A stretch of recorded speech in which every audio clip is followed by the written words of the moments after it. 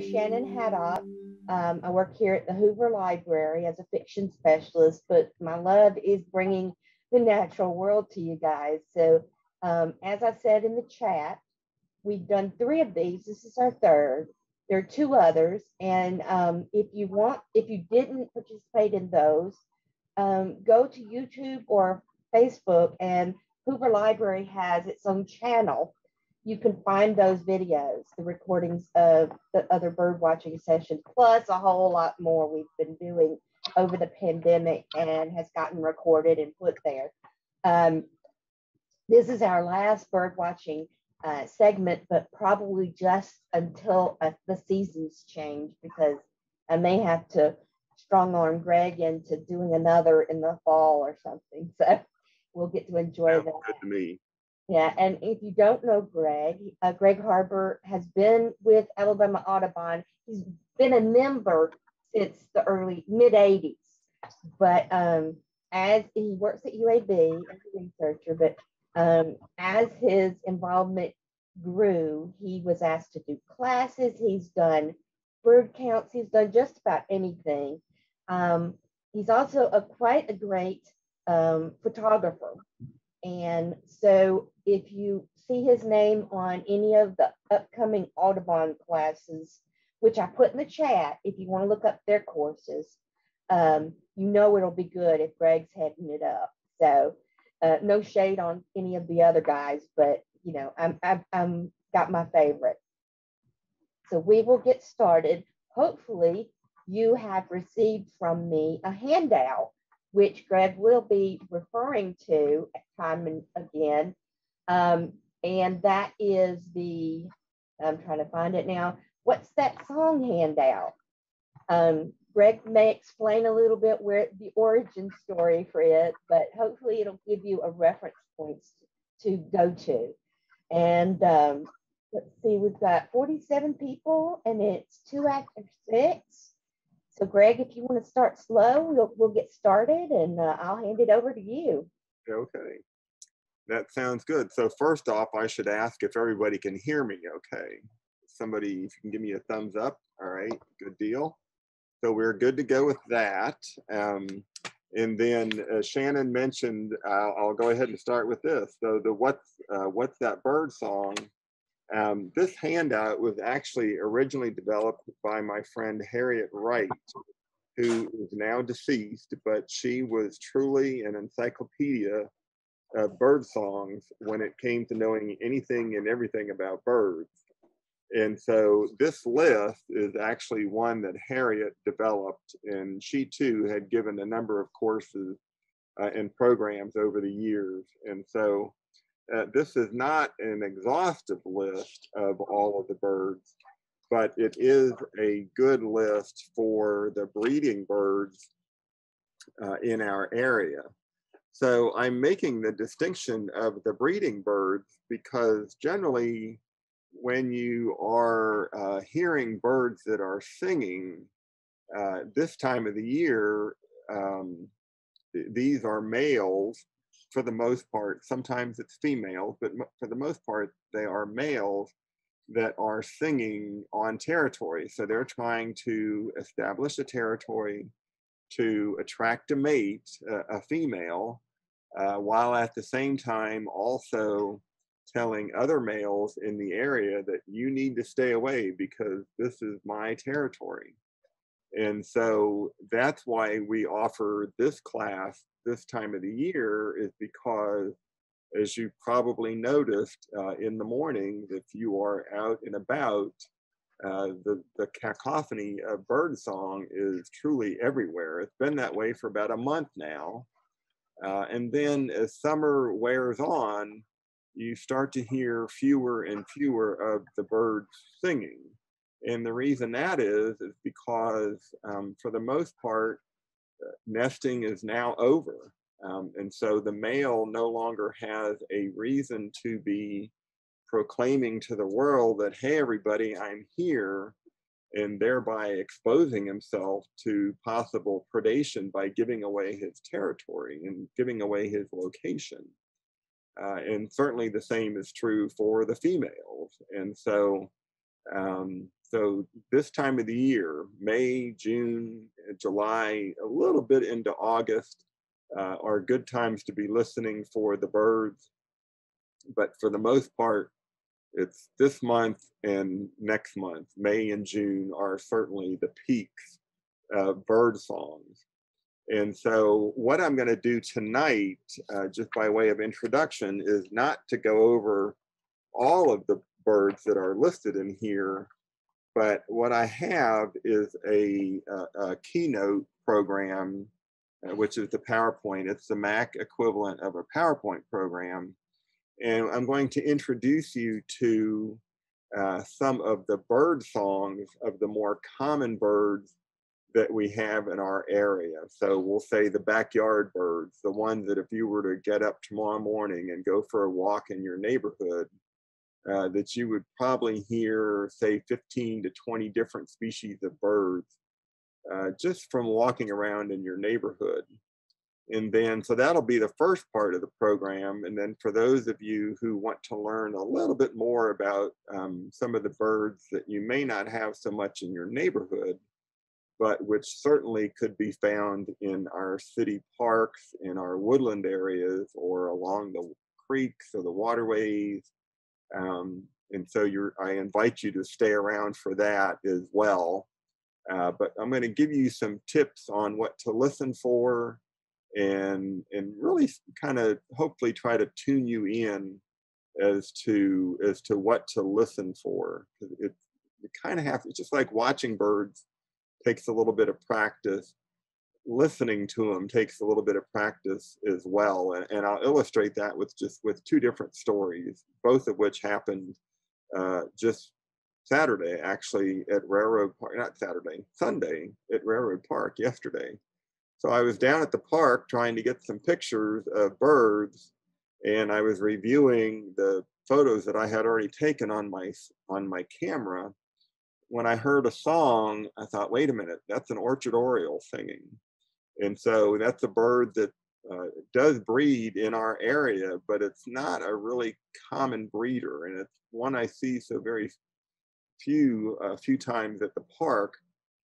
So I immediately stopped what I was doing to go locate the orchard oriole that was singing. And it was just because I was tuned into all of the other birds that were singing and I recognized those. It's almost like when you recognize somebody's voice and then all of a sudden somebody else pipes in, like, wait a minute, somebody else is speaking and that's a different sound for me.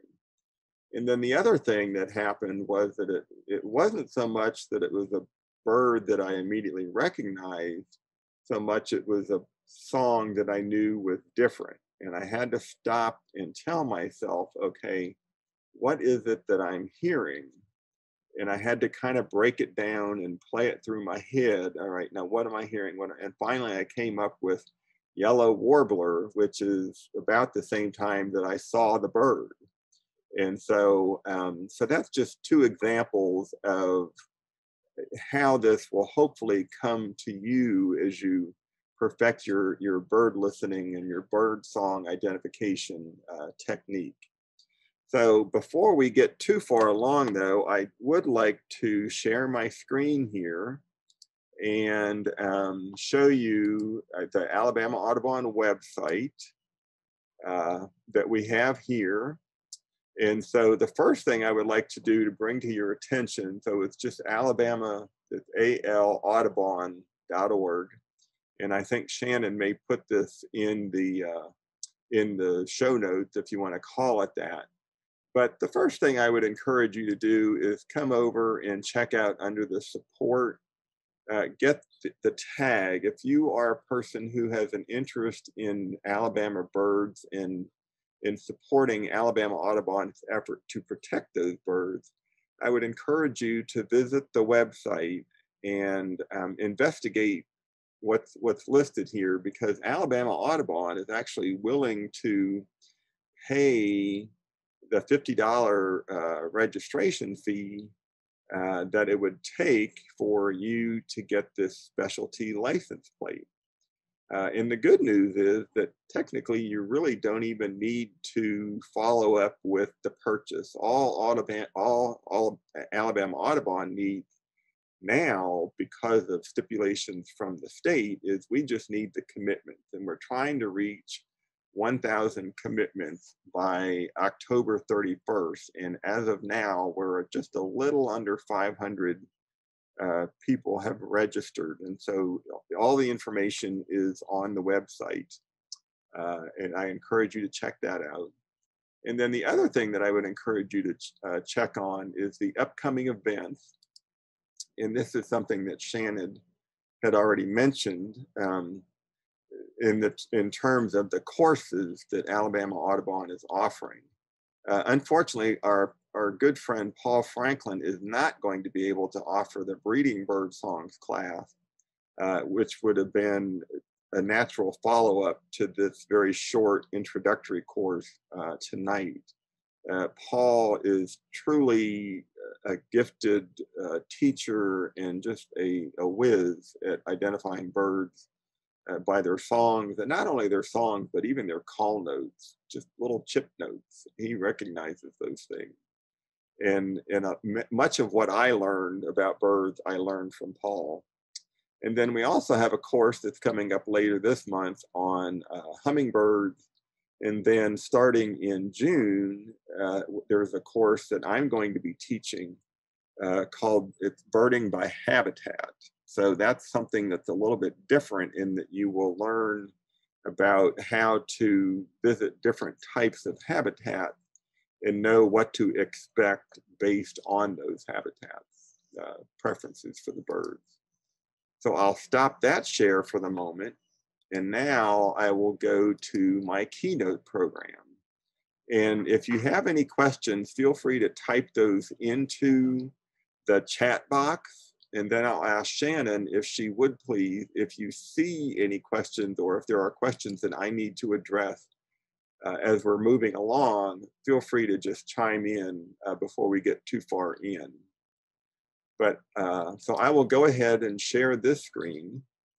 And so learning bird songs. So I've got this here, birdie, birdie, birdie, birdie, birdie.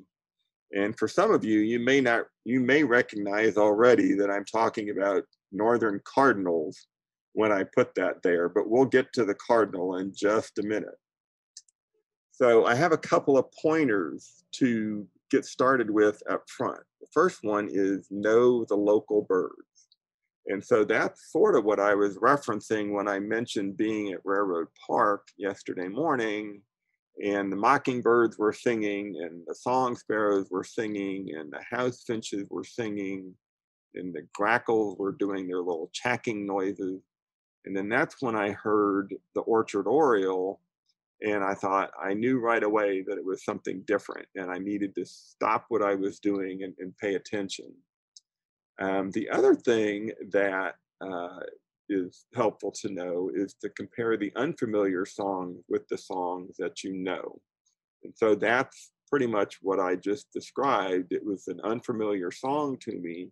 It was one that I had to kind of drag up from my memory bank to refresh my memory. I have to do this every year uh, this time of the year to refresh my memory like, oh, what is that that I'm hearing?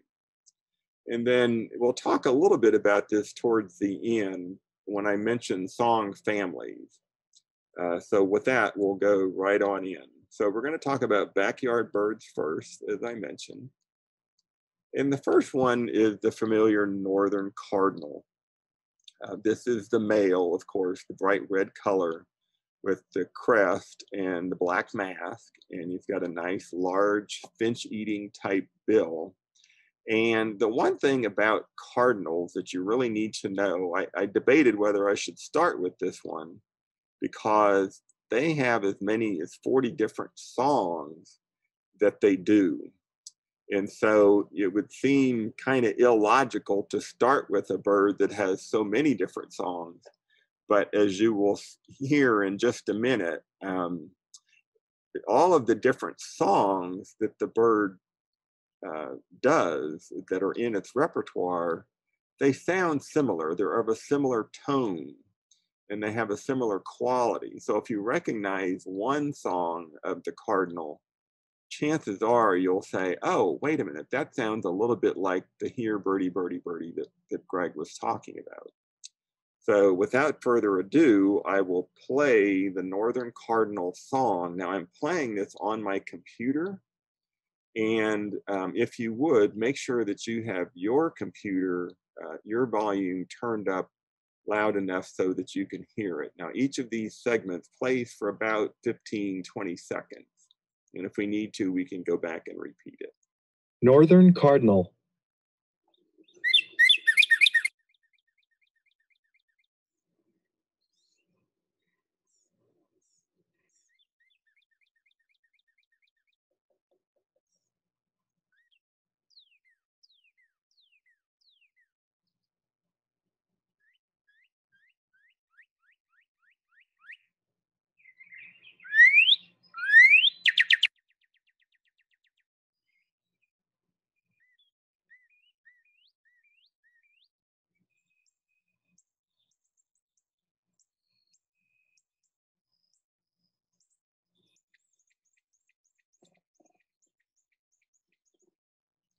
I'll stop that there. So as you heard, very much the same tone, and I, I have in there here, birdie, birdie, birdie, birdie.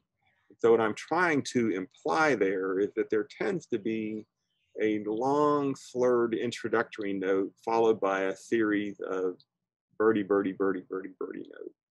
And so this is a bird, the cardinal, that is among the earliest to get started in the morning and it is certainly the one that I hear most often going to bed at night, so to speak, when it's truly getting almost completely dark outside. The cardinal is still out there singing his little head off.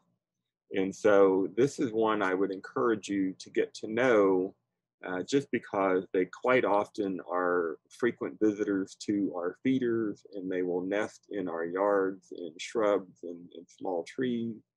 And so for that reason, this is a really good bird to get to know right off the bat. So we'll move on to our next bird. Northern cardinal. And that is the northern mockingbird. And um, just as I mentioned that the Northern Cardinal is a challenge because it has so many different calls. Um, the Mockingbird uh, may not be another good one to start with, but I started anyway because it is such a familiar bird to so many people and it is so widespread. And as the name implies, the mockingbird is capable of mocking the sounds of other birds that it hears. And it doesn't even have to be a bird, it could be a car alarm, just about anything. Um, and sometimes when I'm when I hear them, I'll be thinking to myself, now am I really hearing a mockingbird singing, or am I hearing the bird that he's you know imitating? Am I hearing the original bird, or am I hearing the mockingbird's imitation of that bird? And and sometimes i will even say to myself well i haven't seen say for instance the phoebe but i know that the phoebe has been there recently because the mockingbird is doing the phoebe's song and we'll listen to a phoebe in a little bit. But with the mockingbird um, it's essentially it's a gray bird with dark wings and what we call white wing bars. So i don't know if you can see on the screen here these uh, little uh, white tips to the uh, secondary feathers, uh, but those are what we call wing bars. And this is, can be a fairly aggressive bird this time of the year. So for those of you that might have cats or dogs, if they are nesting in your yard uh, and you or your pets get a little bit too close, well then the mockingbirds will certainly let you know that. Um, so I mentioned that the mockingbird is capable of imitating other birds, and he can do not just hundreds of sounds, but thousands of sounds. And, and so you're probably thinking, Greg, why are you why are you torturing us like this? Well, the easy way to remember this is not that you need to know all of those thousands or hundreds of different songs that it sings, but just know that he repeats those uh, phrases three or more times. So he'll sing, pick it up, pick it up, pick it up, pick it up, put it there, put it there, put it there, move it, move it, move it, do it again, do it again, do it again, do it again. And he just will sit there and do this.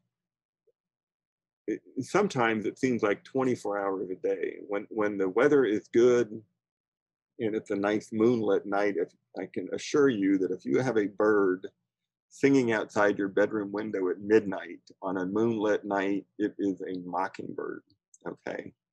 So let's listen. I'm going to go ahead and play this and let's listen for the fact that the phrases, he's going to vary these phrases many, many different times, but listen for them to, to be repeated three or more times. And I, I, I emphasize the three or more because we'll have birds elsewhere in the program where they don't repeat the phrases. Northern mockingbird.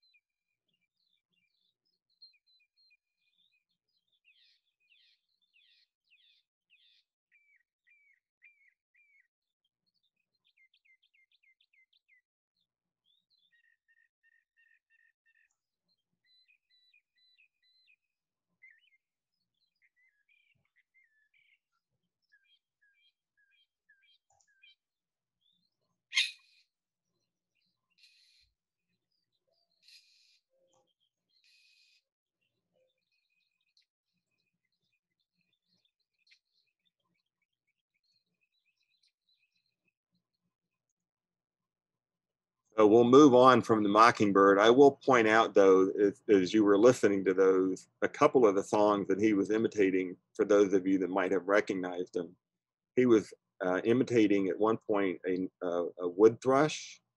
And also, I thought it was a bit ironic, but he was also imitating the, the mew sound of a gray catbird, which in and of itself is a mimic, but the gray catbird only does its phrases once and then periodically we'll interject. Uh, hey, that Greg, yes, uh huh. I will just say, I think everybody is in the same situation as I am. I hear the first one loud and clear, and then the other ones are, I could, if they're going on, I can't hear them. It's just silent after the first one. Hmm. So there's more than one source you're, you're playing. Um, I don't know that I do, but I can go back. Let me go back real quick and just try. Let me play it again. Northern Mockingbird.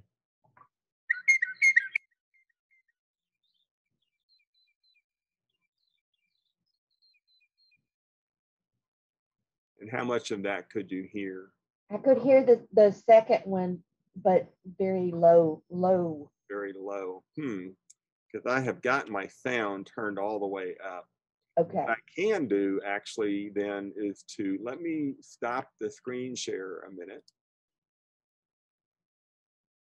I just want it to be optimal for everyone. Oh, and I hate to absolutely. Oh, I hate to add complication to it. Yes, no, absolutely. So what I can do then is to go to this um,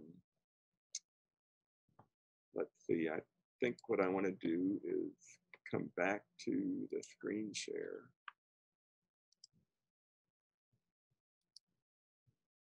And let's try this. So what I can do, and this is a, one of the things I was going to talk about.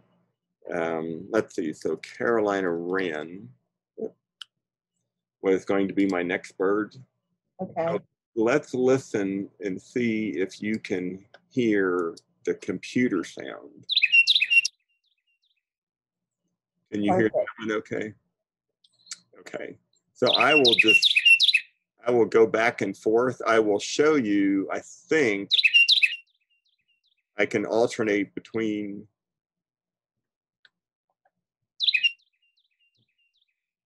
Unfortunately, the once it starts playing, I, it won't stop.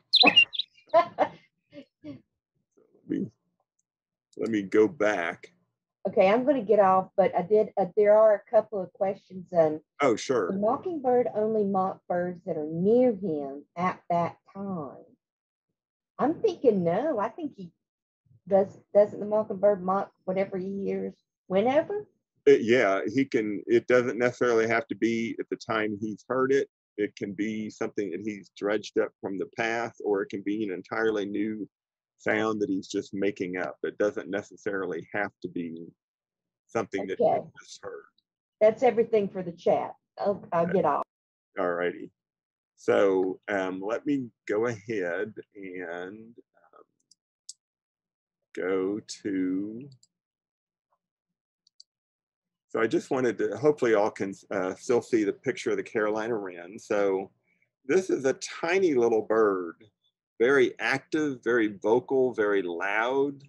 And generally the males and the females, when you hear one, they um, they will often duet back and forth to one another and so that's something that you can listen for is they do this very loud tea kettle tea kettle tea kettle uh, sound and then um, the female might respond to that the male and the female look the same but it's not uncommon to, to hear one and then the other one uh, responding back to that so let me go back to uh, the website then, and we'll listen to them again.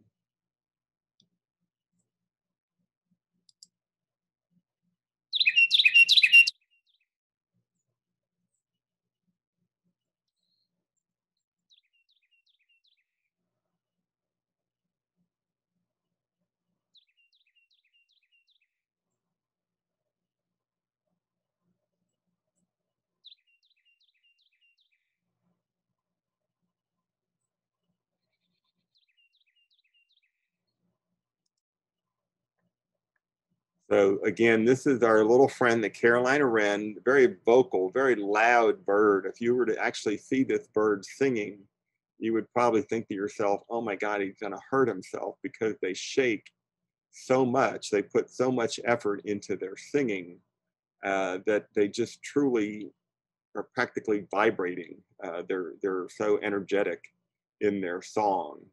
And so that's something that is a very common bird. They love being around human habitation.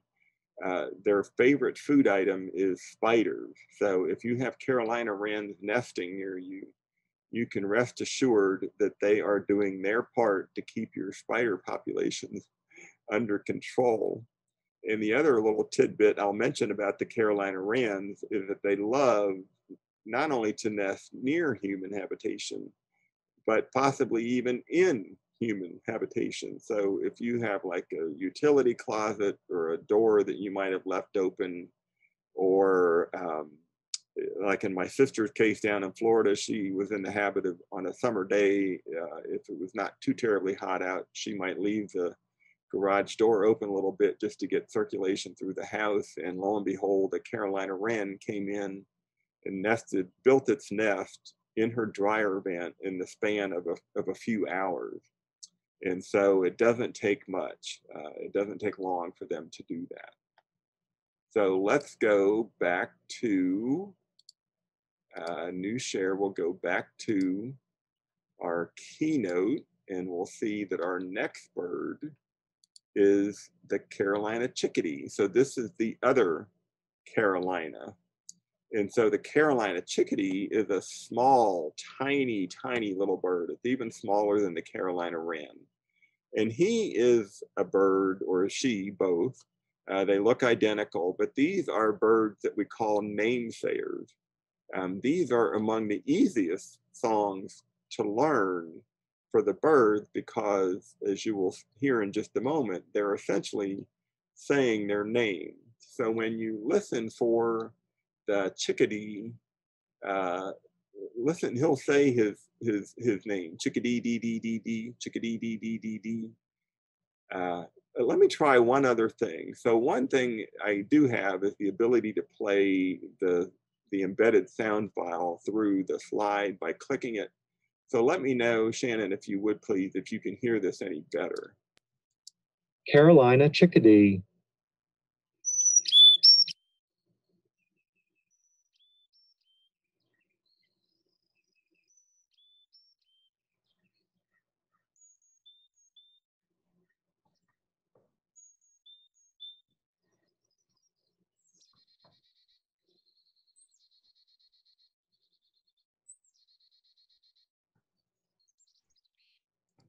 I think maybe based on the expression on Shannon's face that she's having a hard time hearing.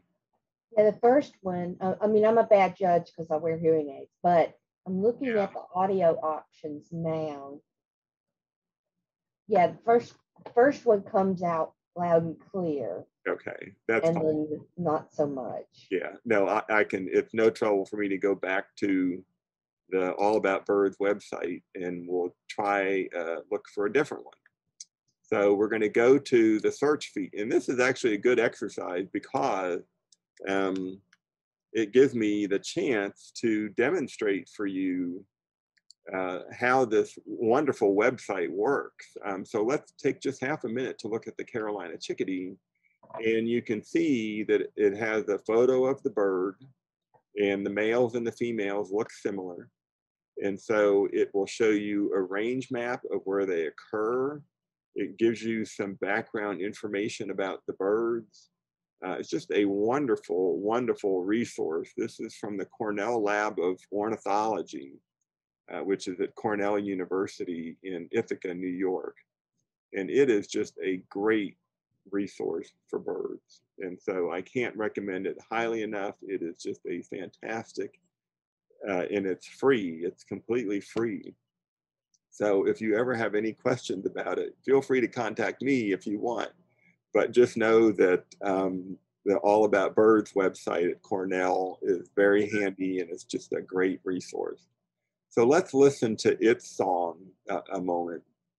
And we're going to be listening for the chickadee dee dee dee dee and also the CBC Bay notes. Uh, and I think Harriet had mentioned that in her description in their uh, handout as well. So let's take a minute and listen.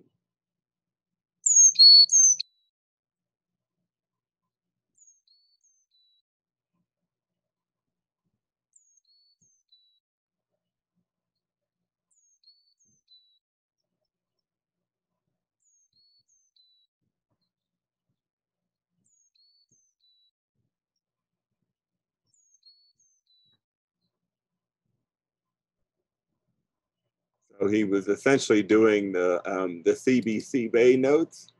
So let me go over here.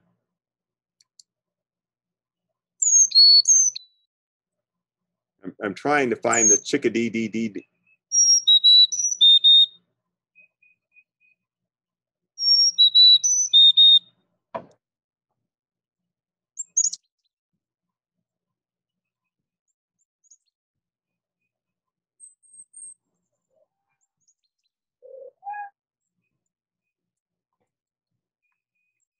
Dee. Let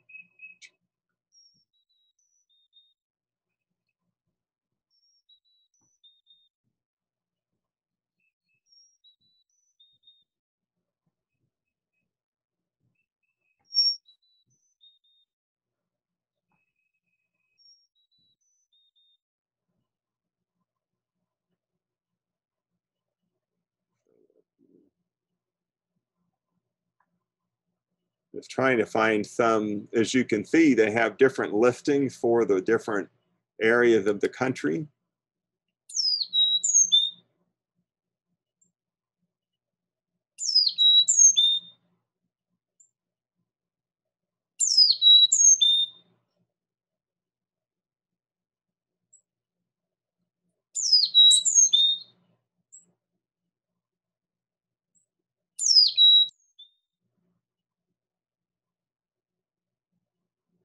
Try a few more. There we go.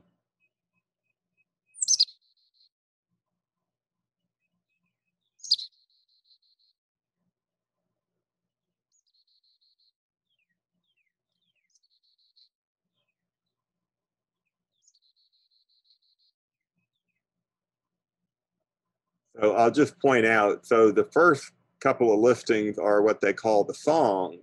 And then the calls are essentially vocalizations that are essentially not full-throated song, which I know sound like a kind of a crazy distinction to make, but it does emphasize the point that birds um, have more than just songs that they sing. Sometimes it's call notes, sometimes it might be what they call chip notes, uh, and generally it's just they're trying to convey to other birds certain information.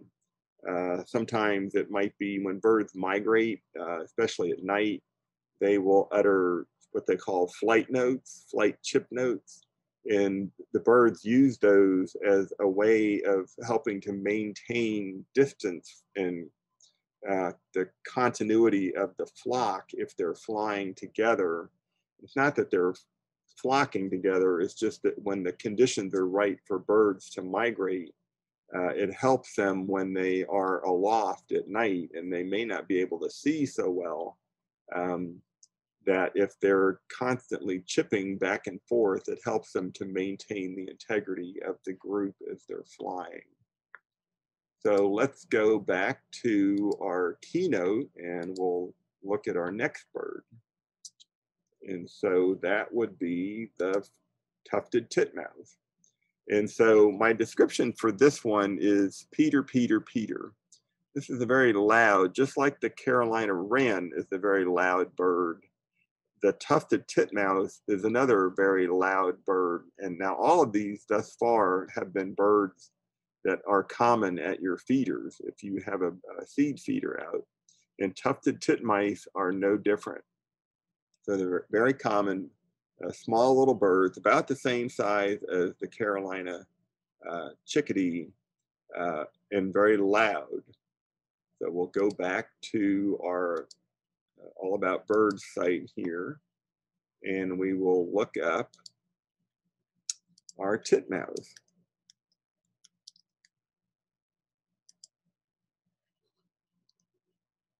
So here's our, our little friend, uh, not very big, got a little crest on his head, so he's somewhat reminiscent of a cardinal, but as you can see, he is just this overall beige color, very light colored underneath and grayish up top, and you might see a little bit of black on him. But when you look at that bill, you should be thinking, oh, that's a seed eating type bill. And indeed, they are seed eaters, but they will also come and eat suet as well if you have a suet feeder.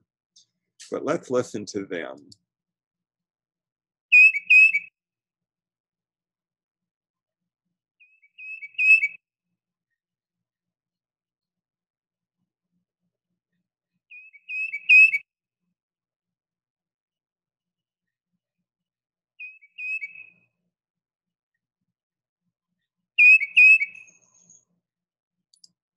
So some people might say, I like to think that he's saying Peter, Peter, Peter. I've had people describe it as being Chiva, Chiva, Chiva. Whatever it is, just listen for that uh, two noted Peter, Peter, Peter, Peter, Peter, Peter, or Chiva, Chiva, Chiva. This is a song, it's a very loud song. It carries well. Um, this past Saturday, we had an Audubon uh, field trip that went to Ebenezer Swamp uh, down in Montevallo uh, just a little bit south of Hoover there. And uh, the tufted titmice were everywhere and very vocal and singing. So let's listen for that again.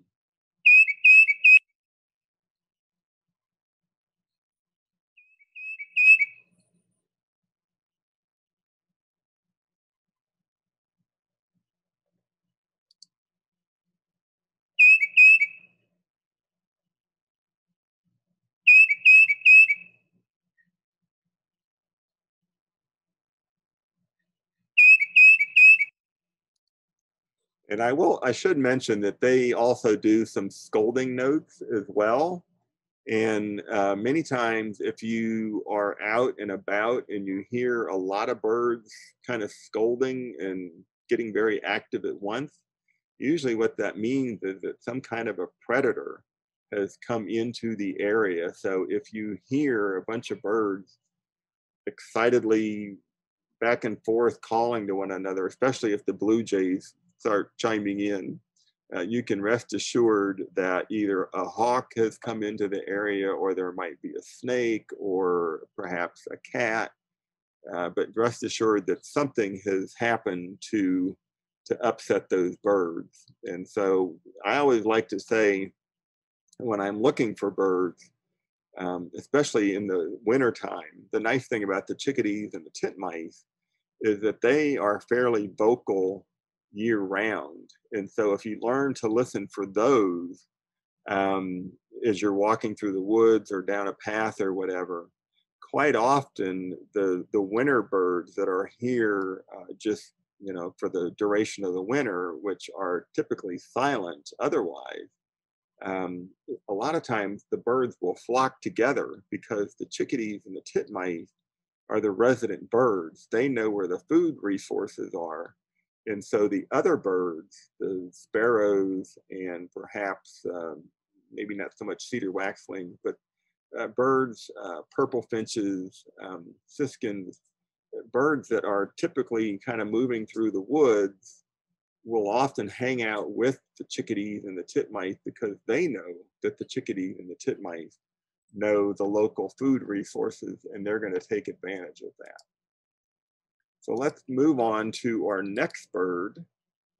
And so that is going to be one that is um, quite the acrobat. The next two are the two species of nuthatches uh, that we have in Alabama as breeding birds. And so the first one is the white-breasted nuthatch. And as you can see in the photograph here, they do indeed have a white breast with a dark back and a dark uh, top on their head. But note that the bill on this bird is very chisel-like. It's almost like it's a woodpecker type bill. So based on that, you could almost surmise that these are birds that um, will eat peanuts, perhaps, or they uh, might uh, chip away in, at the bark of a tree to get to an insect. And so you would be correct in making that assumption because that is exactly what they do. So let me go up here and we will revisit all about birds. And we're going to listen to the nuthatch. Oops. It helps if you spell the name correctly. So as you as you look at this, you'll see that there's a couple of different nut something. We've got a pygmy nuthatch, the red-breasted nuthatch, the brown-headed, and the white-breasted. So we're going to listen to the white-breasted. The brown-headed is the other nuthatch that breeds here. Red-breasted nuthatch is one that is only found here in wintertime. And the pygmy nuthatch is one that is a western species. They've not ever been recorded in Alabama. But let's go to the white-breasted. And if you remember my note uh, from the keynote, the description for his sound was a loud yank, yank, yank, yank, yank. It sounds a little bit like somebody on a, you know, blowing a horn kind of thing. Yank, yank, yank, yank, yank, yank. Very loud, very resonating, somewhat nasal in its um, tone.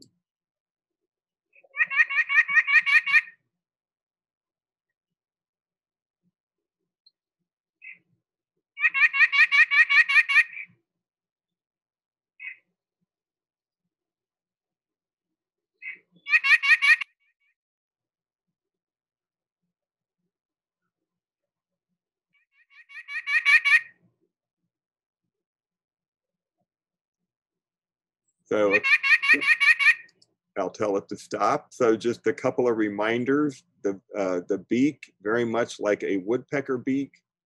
Note that the claws, that, that I don't want to say they're talons, but the toenails on the woodpecker are just ideally suited for clambering on trees. And so this is the species that is comfortable going up a tree, down a tree, around a tree, all over the branches. I mean, as you can see in some of these illustrations here, uh, upside down on a tree trunk is not a problem for these birds. Uh, woodpeckers, on the other hand, tend to just face upward.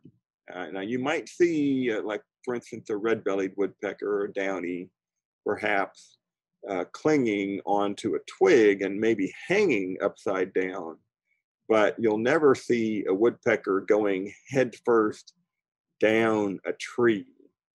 But for the nuthatches, that is not a problem. They can go up a tree, down a tree, around the trunk, around the branches. For them, it's almost as if gravity means nothing. Okay. So let's listen to the sound again and listen for that nasal yank, yank, yank, yank, yank quality to it.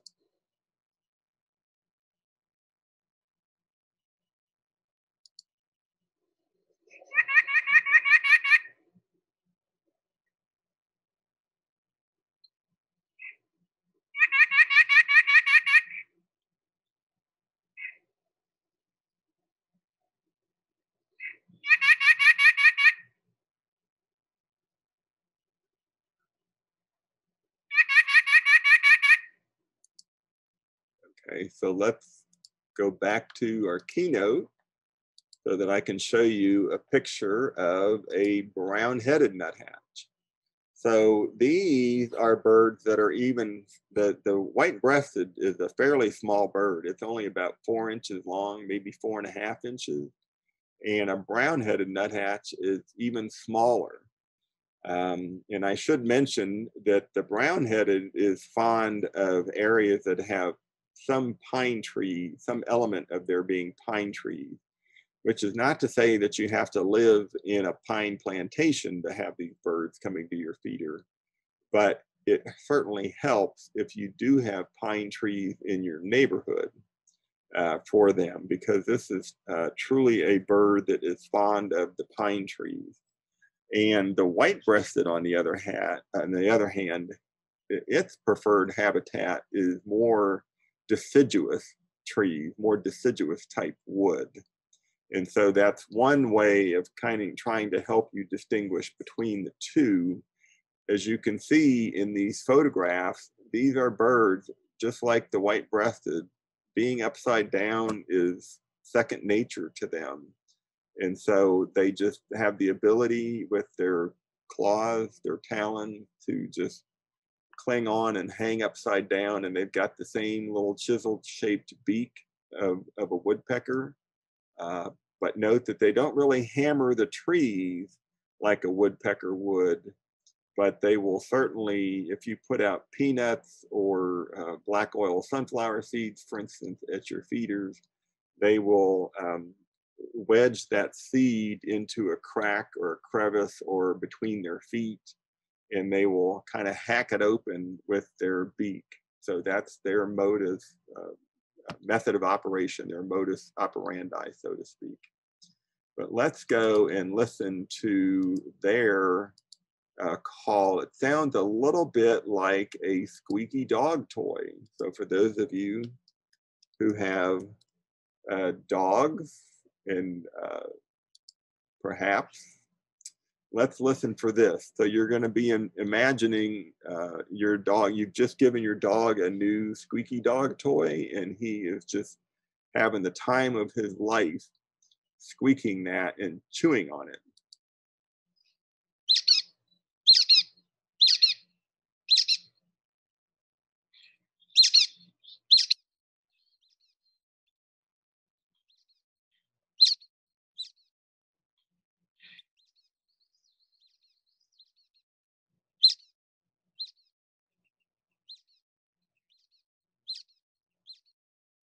So as I was listening to that, I had a flashback to my childhood of the little rubber ducky that all of the Harber kids, when we had to take our bath, our constant companion was the little rubber ducky that you could, you know, squeaky in the uh, in the bathtub, and if he got too much water in him, well, then he would obviously stop squeaking.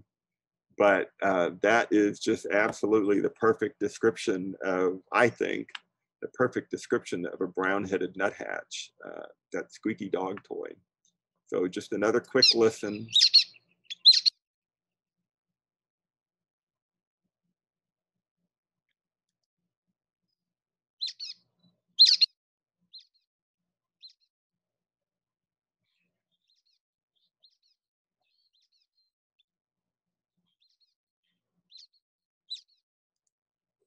Oh, I should mention that with uh, a lot of these birds, um, it, even though I'm, I'm mentioning the habitat perhaps that they might prefer, sometimes it's not always easy to find them. And in this case, the brown-headed nuthatch is an example of that because they tend to be up in the uh, canopy of pine trees and they like to feed on, if they're not coming to your feeder, they will feed on the seeds in pine cones.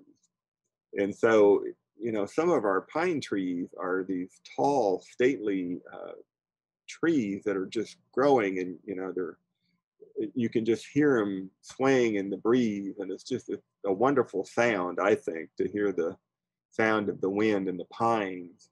Uh, but as far as being able to see the brown-headed nuthatches, sometimes it's it's like my friend Harriet used to say, if you know what they sound like, you don't always have to know what they look like because you can look it up later, uh, what they what they actually um, what they look like. But the brown-headed nuthatch is one that is fond of the treetops, and so not always the easiest thing to see uh, if it's not coming to your feeder. So let's go ahead and uh, check on a few more here. So this is one that is perhaps maybe the most abundant bird in Alabama, and that is the mourning dove. And this is one that a lot of people, when they hear it, they think, oh, I've got an owl, uh, because they hear this soft cooing noise. And so, as you'll hear in, in just a moment, that is not the case uh, what you're hearing actually is the mourning dove. And this is a bird that is very common. Uh, it's found in a variety of habitats, uh, urban areas, uh, suburban areas, in the woods, uh, fields, just they're found everywhere. And this is a bird that is actually capable of breeding any season of the year. So they've been documented nesting in, in every month of the year in Alabama. But let's listen to the mourning dove, and it helps to remember that this is M O U R N I N G. So it's not mourning is in good morning, it's mourning is in, oh, that's a mournful sound. So listen to this soft coo coo coo and see if you don't think it truly is a mournful sound.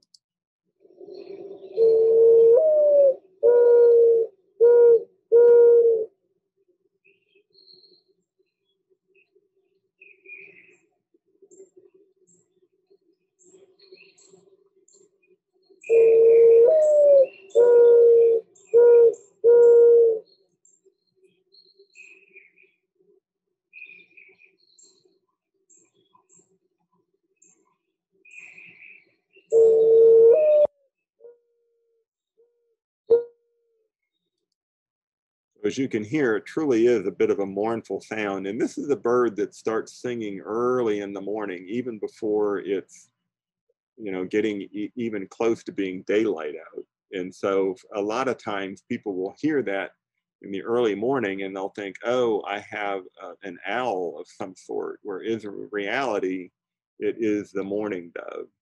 And so the thing that's actually the owl that's closest to that in sound would be the great horned owl. So since I brought it up, let me go ahead and play the sound of the great horned owl just so that you'll see what I mean, the distinction between the two.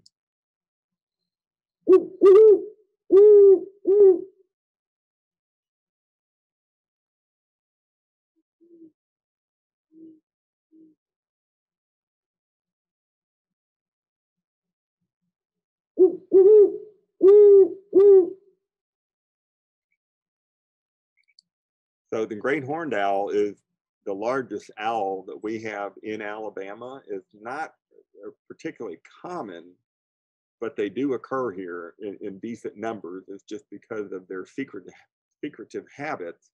We don't often encounter them so much. Um, they do tend to nest in large trees. Uh, they are at the top of the food chain when it comes to predatory birds.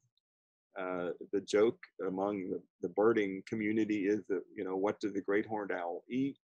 And the answer is anything it darn well pleases. Um, if they can grab it. Uh, rabbits, skunks, actually skunks are their favorite prey item. So if they can catch it and subdue it, well, they will eat it. So just listen for that again. And eh, the way I'd like to remember it is who's awake? Me too. Who's awake? Me too.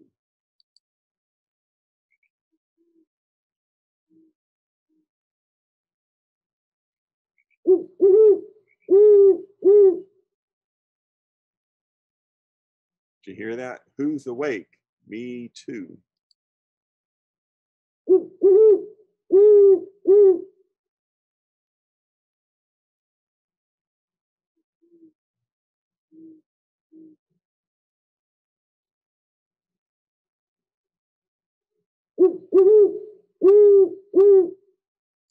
So quite often they do have some fairly long pauses between their phrases. So that's something you just have to learn to, to recognize. So let's look at the next one, also a very common uh, bird uh, in our yard, especially. Um, they'd like to be in areas that have a good shrubbery uh, areas where they can maybe come out onto your grassy areas uh, but they like to be able to retreat into shrub. So if you have a lawn or a yard that is nothing but um, open landscape and not much in the way of cover, then chances are you will not have uh, the eastern towhee. Uh, just because they do like to scratch on the ground, um, but they're not fond of areas where they can't immediately escape into cover. And that's true of a lot of our yard birds our backyard birds is that they really do need cover. Uh, and so if you are providing a bird feeding station, you, it behooves you to also provide cover for them. It doesn't always have to be shrubbery. If you have a brush pile and you can put that near the feeders, well, that will work. And the reason I say that is because there are other species of birds, hawks in particular, certain hawks, that will prey on other birds. And so if you have a feeding station out, not only do the little Tweety birds know that your feeding station is there, but the Cooper's hawk and the sharp-shinned hawks, they know that your bird feeding station is there as well, and they will start hunting the birds that are coming to your feeder. So in order to make it somewhat of a level playing field, you need to provide the cover for the birds. So let's listen to the Towhee, and with him, you'll want to listen to the drink your tea, drink your tea. Now, whether it's sweet tea or unsweetened tea, I don't know. That'll have to be your preference. But just listen to the drink your tea and do know that sometimes what he does is he'll sing drink, and sometimes he just does the tea, and sometimes it might be drink your so it's if he does the full song it's this wonderful drink your tea but if he doesn't do the full song it might just be an abbreviated version of that so let's listen to the towhee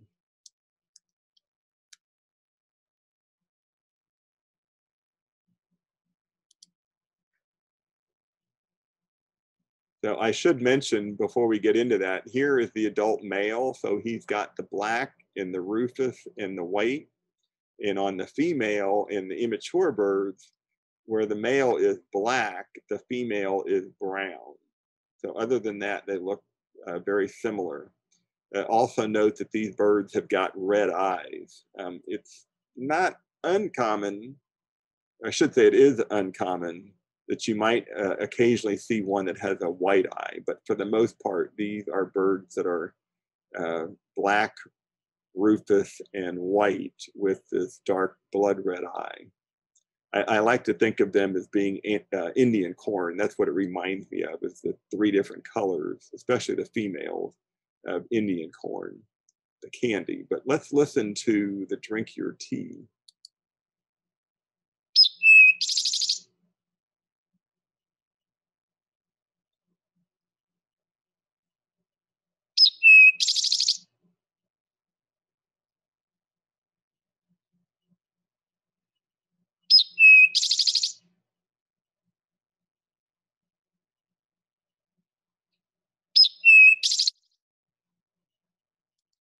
We'll pause it just half a minute and we'll use this opportunity to remind you that whenever you see a beak that is this shape, that's a very cone shaped beak that is an ideal beak for cracking open seeds.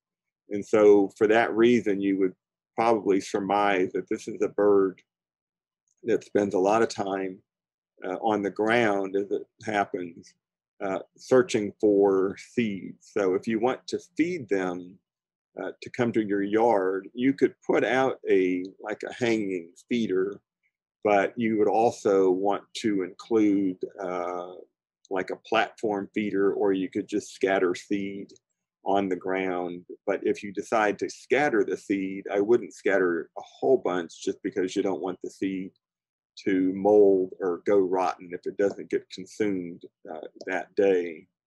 Uh, and again, be sure to spread it near the cover, uh, the ground cover, so that the birds can escape. But let's listen to that drink your tea one more time.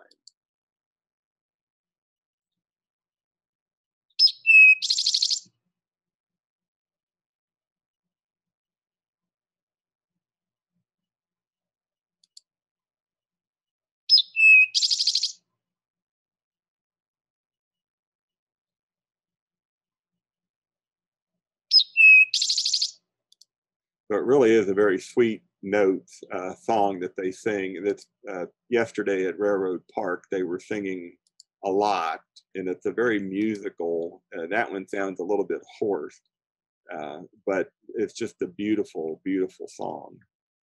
So let's visit some of our woodpeckers. These are also common birds that come to our feeders.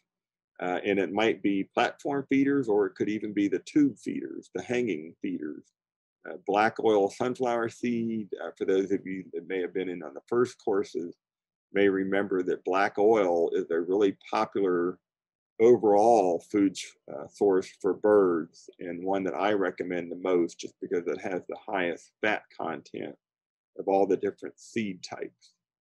But I have this particular photograph in here uh, because it, even though it's called a red-bellied woodpecker, the red in the belly is not all that noticeable. And so when you see this bird, you might be thinking, oh, it's a red-headed woodpecker. But a red-headed woodpecker is actually an entirely different species of birds. All of our woodpeckers have some red on them somewhere uh, in the head. It's just, it's the distribution that uh, varies uh, somewhat. But certainly in the case of the red-bellied woodpecker, the red is indeed not only on the head, but it's also on the belly. It's just that the belly is not the most obvious. But let's listen to this. Um, this is a bird that is one that you really want to get to know um, just because it is a very common, common woodpecker. So let's go, we're gonna have to well, what do you know? They don't have, I can't believe it. They don't have red-bellied woodpecker. Let me try typing in red-bellied.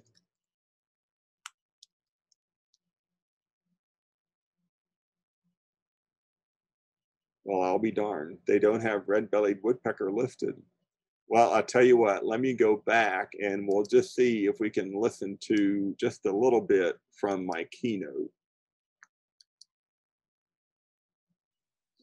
Hi, Greg, they did have it there. Oh, did you see it? I didn't notice it. Okay, let me go back and, Yeah, it, it was there. I, okay. Oh, there it is, red-bellied woodpecker.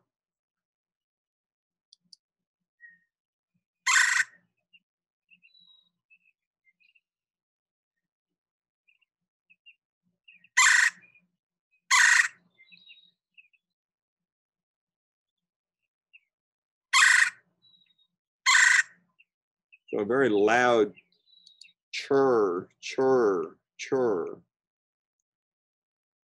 Let's listen again.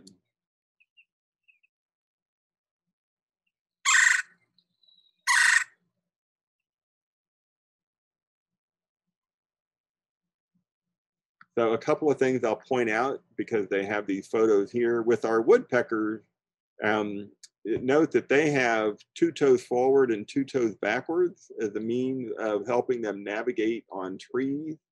And also with the woodpeckers, uh, they have uh, tails that are specifically adapted to them when they are perched on a tree, like these are here.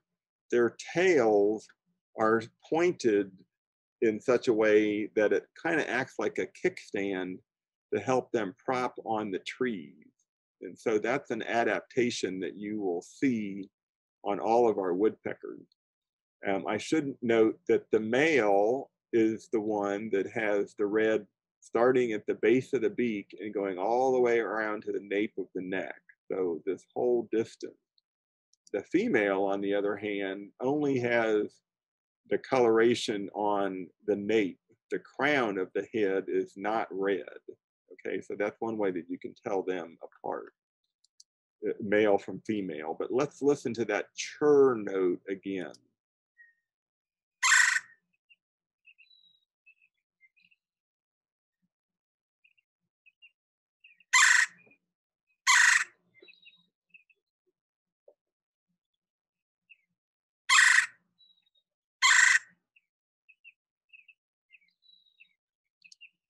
Okay, so since we're here, let me go and we'll look up the downy woodpecker. So the downy is, the, the red-bellied is probably the most common of the woodpeckers that would come to your feeder.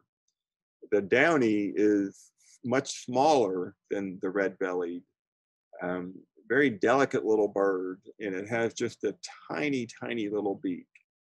Um, and this is a case where uh, when you hear it, you almost get, you can almost hear how small it is. So they tend to do a little pick notes followed by a, a little, what sounds like a horse whinny.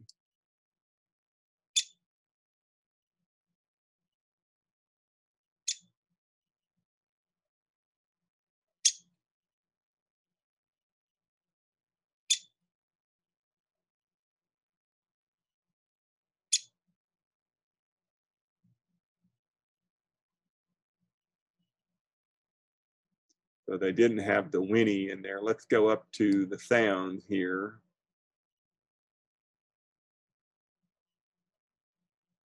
And let's see if they will, oh, they have the calls.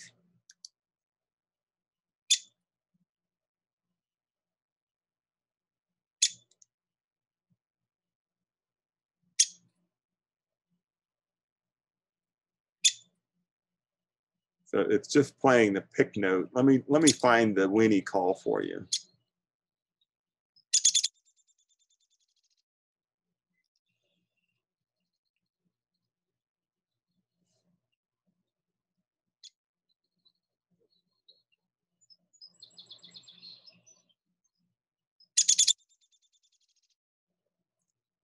So it's this, it, to me, it sounds just like a little miniature descending whinny. So if you can imagine a horse whinny, except on a much smaller, much tinnier scale, then that is the song and the call of the downy woodpecker.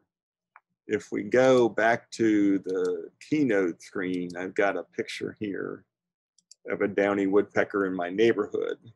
So one thing, the very similar looking uh, woodpecker to this is the hairy woodpecker, but the hairy is not nearly as common in Alabama. It is a bird that is fond of deciduous woods, large stands of deciduous woods, um, and they're not particularly common at coming to your feeders.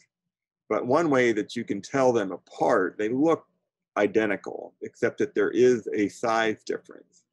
And the other difference on a downy woodpecker, you will see black spots on white outer tail feathers, like you can see in this bird here.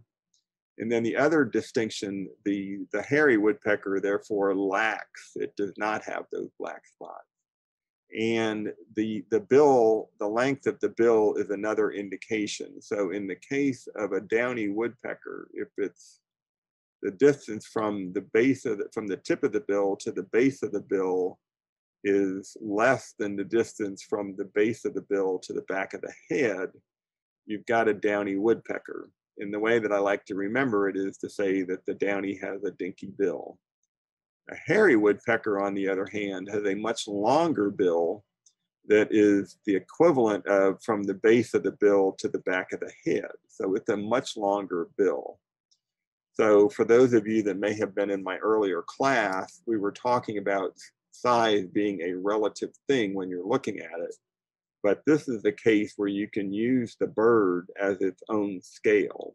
So is the bill the same length from the tip of the bill to the base of the bill as from the base of the bill to the back of the head? If it is, then you've got the hairy. The hairy has a honker. Downy has a dinky bill, the hairy has a honker. All right. Kind of corny, but it will help you to remember that. Greg, that's way too corny. I love it. Sorry, but that's just the way I am. So now I'm going to show you a few of the uh, other common birds that you would have, but maybe not coming to a feeder. All right. So this is the Eastern Phoebe, and he is one of those namesayers. So thank goodness for him. So as you might imagine, if he is a namesayer, his song, if you want to call it that, is going to be Phoebe. And lo and behold,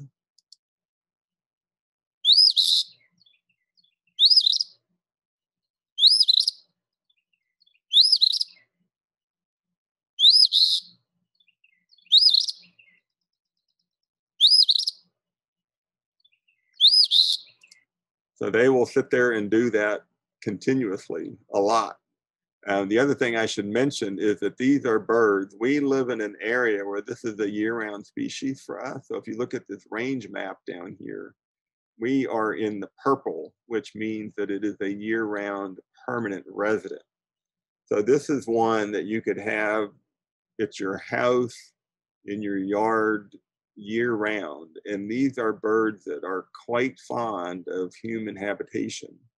So much so that, you know, they will get accustomed to you, they will come and land on you, or they will fly right up to you if you have like an eave on your porch or a column on your porch that has a little lip on it they will come and you know nest on the porch if, if it's not a carolina wren it's going to be a an eastern phoebe but these are just the cutest most accommodating little birds. And again he is a namesayer so to me they have a little bit of a helmeted look uh, because they're kind of grayish brown and then they have a little bit darker coloration on the head. But regardless it's going to be that very raspy phoebe phoebe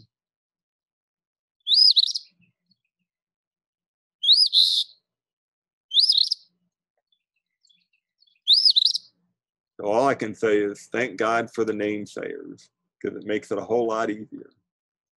So I mentioned earlier about the when I was talking about the northern mockingbird repeating his phrases three or more times.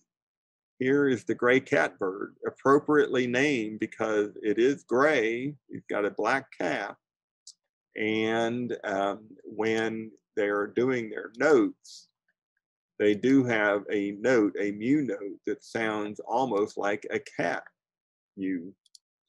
So let me type in catbird here. There's only one species of catbird.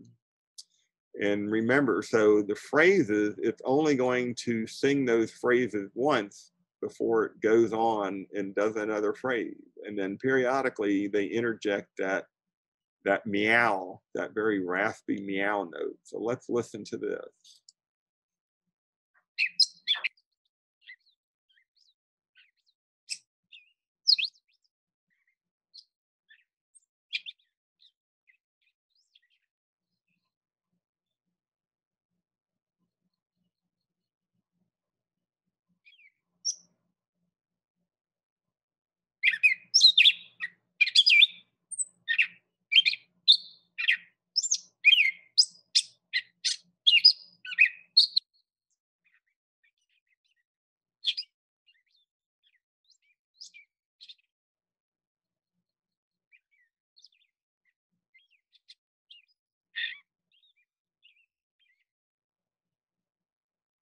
So it's doing a variety of different phrases there, none of which were repeated. Now let me go to the sounds page because I really would like for you to hear the mu, the calls.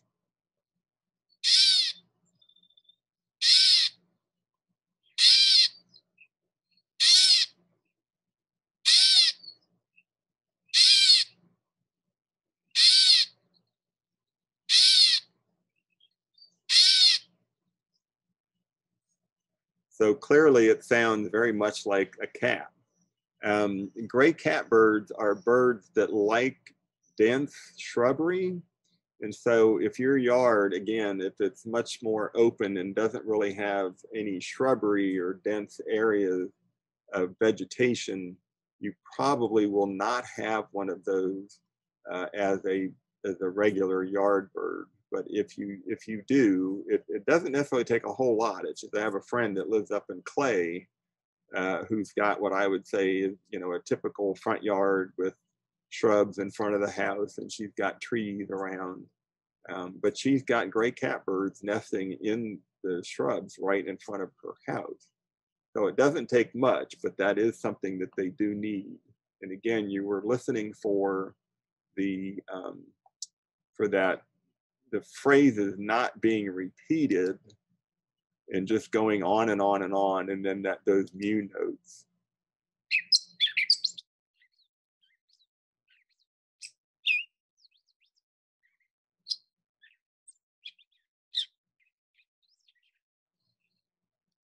So again, just going on and on and on and not repeating those phrases at all. So let's listen to this next bird.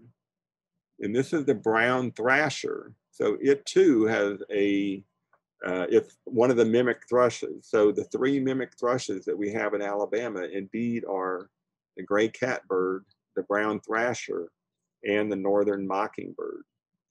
So um, they call them mimic thrushes because they mimic the sounds of other birds. They also call them thrushes, and it's not so much that um, they are thrushes. All of our thrushes that we do have in Alabama have spots on them. If you look at the brown thrasher, you might say, yeah, he's got spots, even as the adult. But if you go back and look at the gray catbird, no spots. If you go back and you look at the mockingbird, again, no spots. But as young birds, they do have spots, the babies do, okay? So that's where the thrush part of mimic thrushes comes in.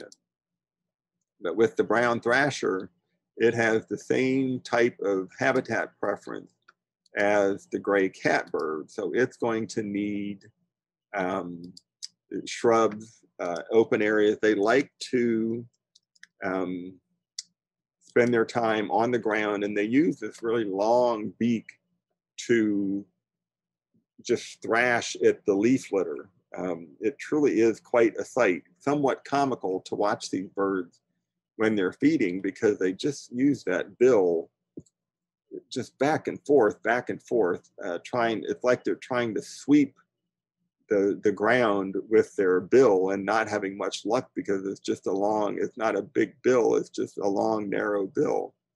But when you listen for it, uh, when you're listening, listen for the phrases that are repeated twice. Pick it up, pick it up, put it down, put it down, put it there, put it there, pick it up, pick it up.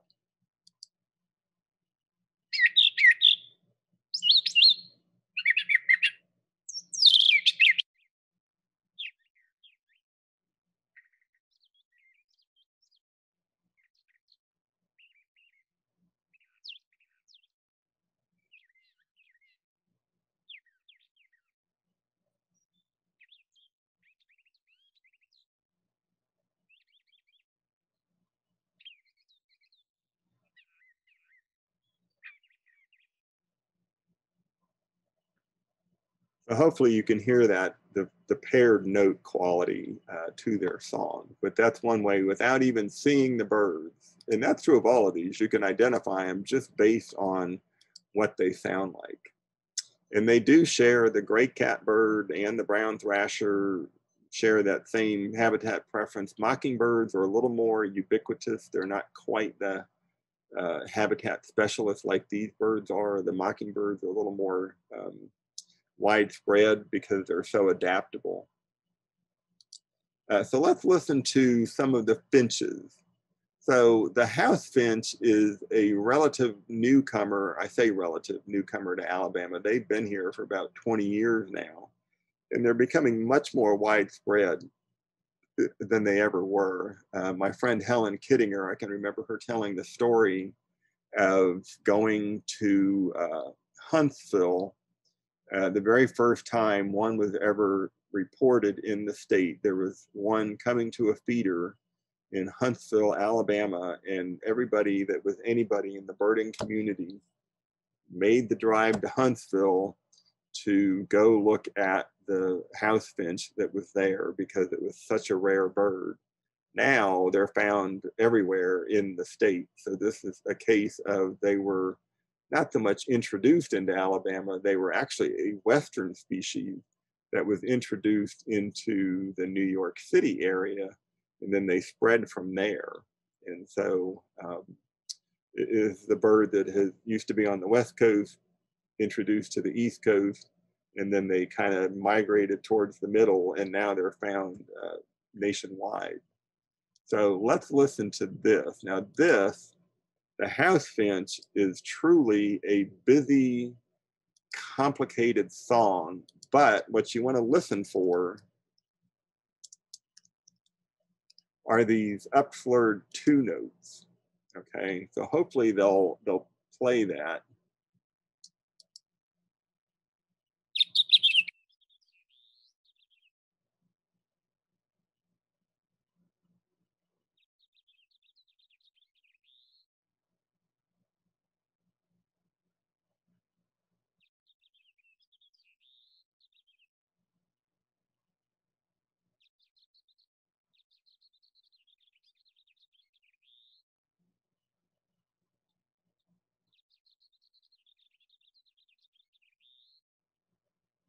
So can, can you hear that? Let me stop that again. So if you're listening, you're going to hear this bright, lively chatter, and all of a sudden you hear the reet, more chatter, bright, lively chatter, and then reet. And every once in a while, it just stops and throws in this reet. And then at, toward the end of this segment, it does have a little bit more of an upslurred, uh, upslurred tone to it. But let's listen for it again.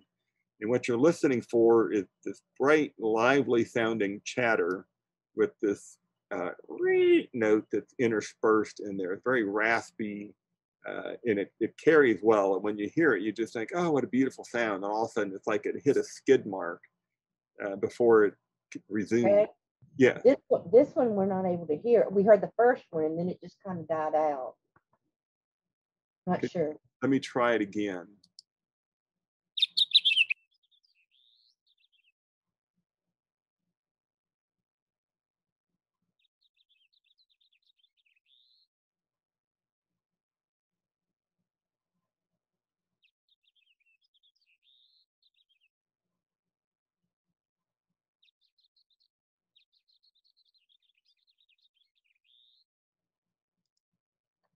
So if, if you had trouble hearing that, if you would, make a note to yourself to visit the All About Birds website. It's just A-L-L-A-B-O-U-T-B-I-R-D-S dot org. So it's all about birds, one word, dot org.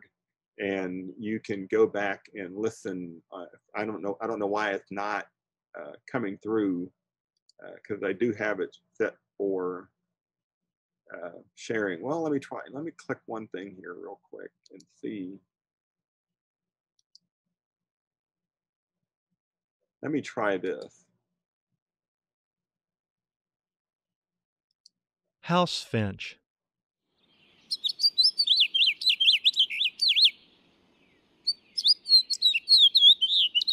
It's working now. Okay.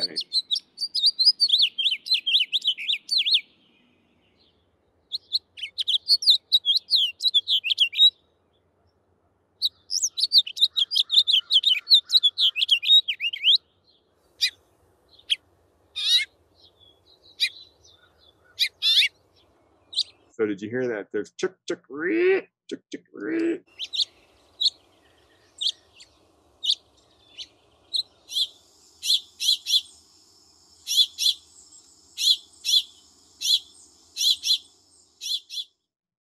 So very lively sounds, but just listen for that the the upslurred two notes and then that re. It's just it gets almost like it's going along and then it hits a rough patch and it kind of skids before it kind of corrects itself and then continues on with that bright, lively notes. Um, I should mention that this is the male. If this were the female, uh, she would be just the same overall brown color. She doesn't have any red on her at all. Um, the one bird that you might confuse this with is the purple finch, uh, which we do not have here as a breeding species. Now, it just so happens that this past winter has been a good winter, uh, uh, what they call an irruption year for purple finches, but by now, almost all of them have moved back north to breed. Uh, so if you see them now, this time of the year, without a doubt, it's going to be the house finch. So let me move on to the goldfinch.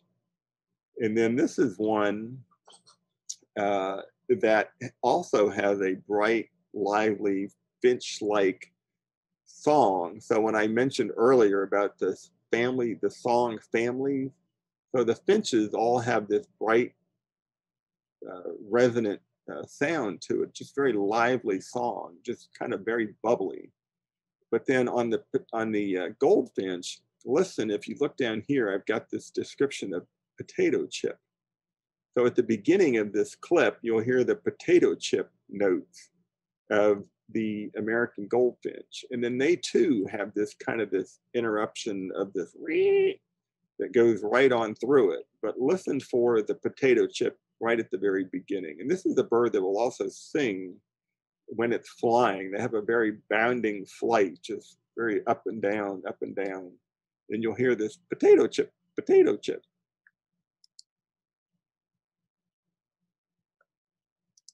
American goldfinch.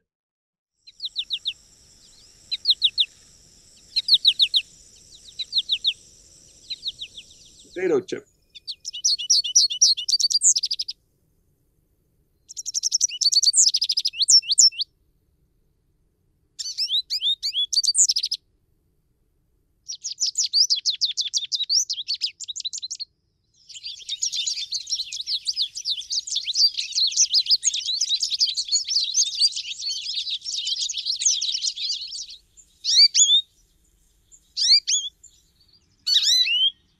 That that loud.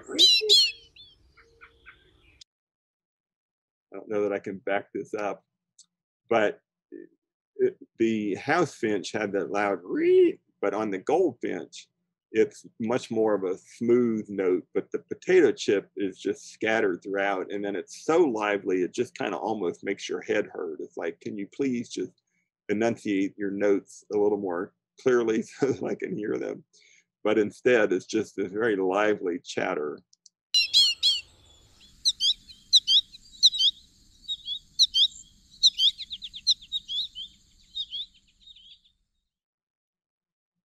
So I'm going to play it again because at the very beginning is where you hear the potato chip notes a lot at, at, the beginning of the clip.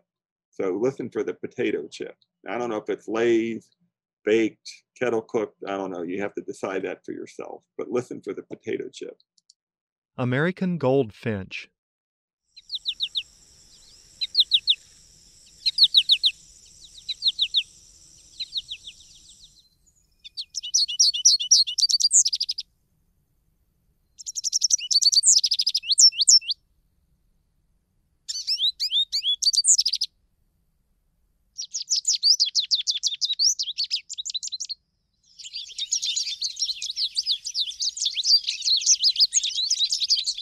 That's that chattery stuff that just makes your head hurt. You just, you know, will you please settle down?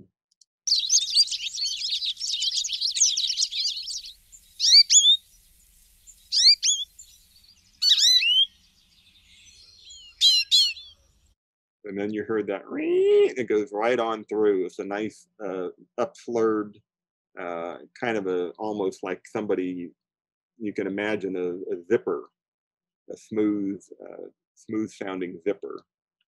So let's go to, I want to pick out a few more. I'm keeping an eye on the time here. I want to pick out some of the other birds that are more common that you probably already know, but it would be worthwhile just to refresh your memory. The blue jay has the very loud J notes.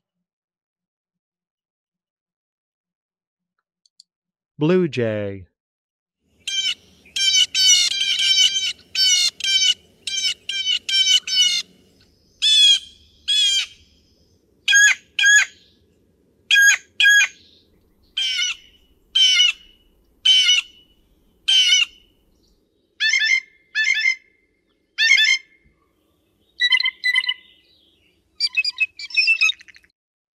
Very loud, raucous calls. Jay, Jay, Jay. And usually when you see one, you see four or five of them. They're, they're highly intelligent birds and they tend to travel together.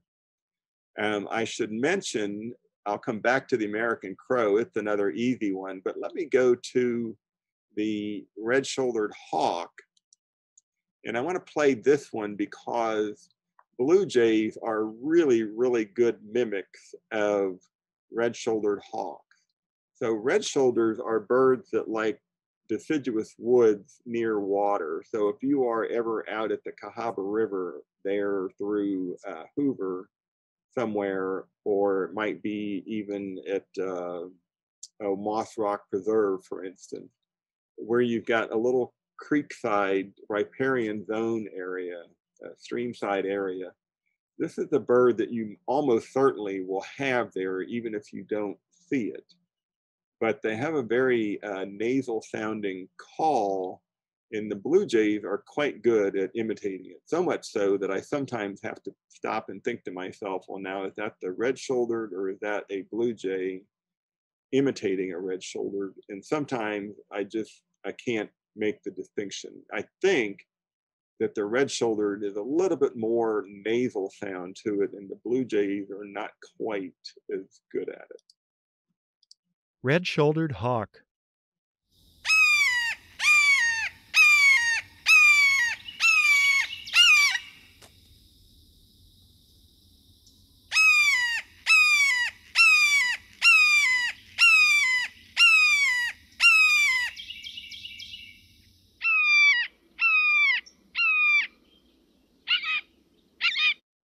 So they will carry on like that. They're very vocal birds, and you'll hear them either when they're perched in trees or they might be up flying.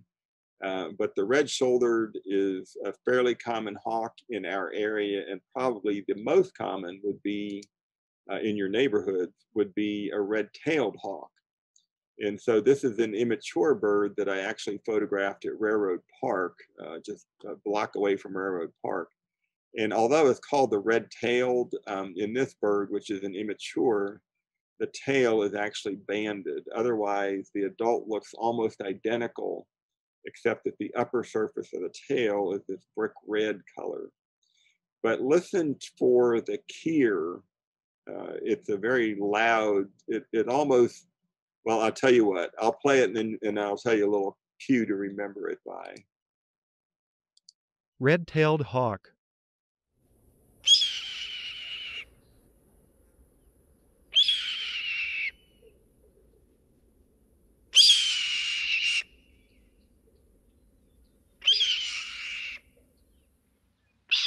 So more of a shriek than anything, but it's just this loud keer, keer, keer. And it, it, I'm going to play it again, but what I want you to think of as you're listening to it this next time is think of every Western you have ever seen, every poorly made B-rated Western you've ever seen, when the man, the cowboy, is on his last leg, he's dying, he's out of water, and the vultures are circling or the eagles are coming in.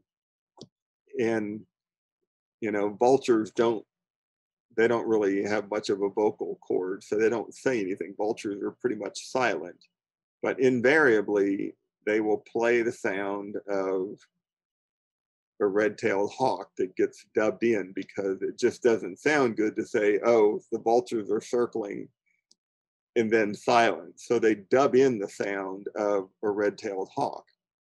The other time that you will hear the sound of a dubbed in uh, red-tailed hawk was about 20 years ago. Almost any commercial that Buick made where they showed one of their cars driving across the landscape.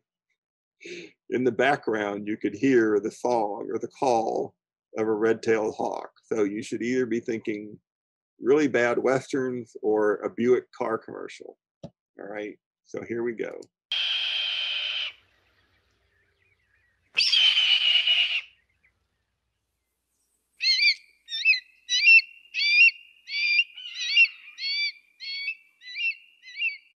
So not much to it, but that is the red-tailed hawk, and it's by far the most common hawk in Alabama.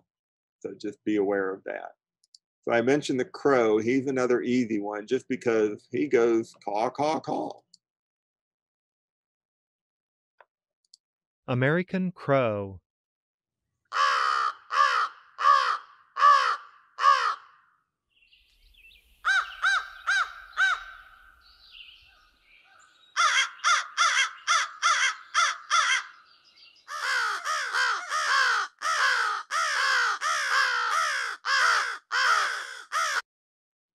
This is the bird. They're very common, very smart. They travel together in family groups. Um, they are highly intelligent. They're, the corvids in general, the the crows, the ravens, and the blue jays are all part of the corvid family.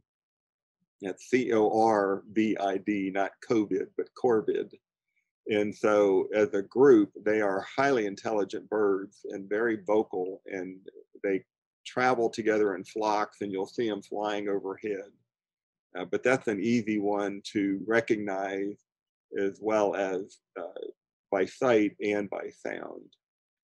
So now I mentioned earlier about, uh, so these are most of the, what I call the backyard birds, the birds that are more common. So now what I would like to do is to segue from that into some of the birds that you will probably hear if you are out on a visit to, uh, let's say, Moss Rock Preserve or some of the parks that might be in your neighborhood.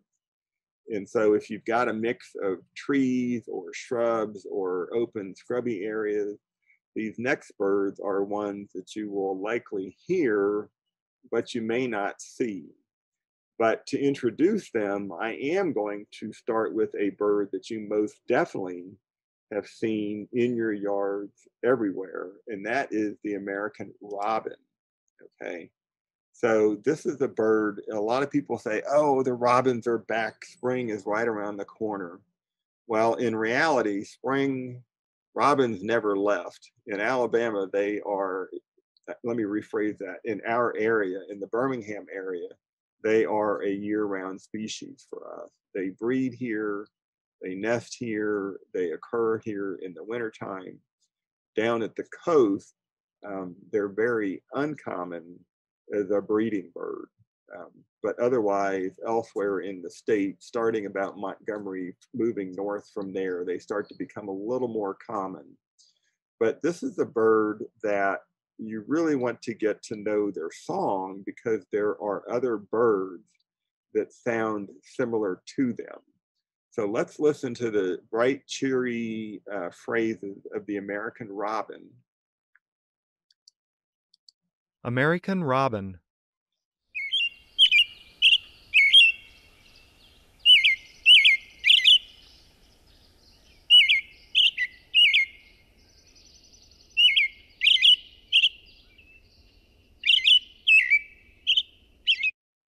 Cheer up, cheery, chirl up, and they just go on and on and on. So let's listen a little bit more.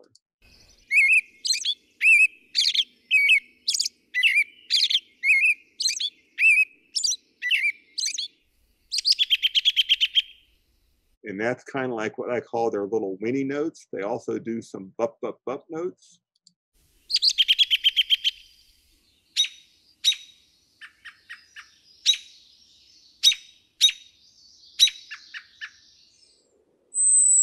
Those were the bup, bup, bup notes. So now, so remember that very bright, cheery phrases just kind of runs on. So let's listen to a bird that doesn't look anything like an American robin, but does sound very much like an American robin. And the phrases are, it's robin like phrases, but it's a little on the raspy side and it's choppier. So let's listen. So the summer tanager, by the way, is one that prefers woodland areas, uh, deciduous trees. It doesn't necessarily have to be in a riparian area, just any deciduous tree uh, will do, but they tend to like more intact forested areas. It's not one that if you said, oh, I've got a tree, a white oak, you know, in growing in my backyard, so where's my summer tanager? This is the bird that really does to like have more, uh, a much more extensive tree canopy. But let's listen to the summer tanager. Robin-like phrases, choppier, so they're long phrases with short pauses between them. Summer tanager.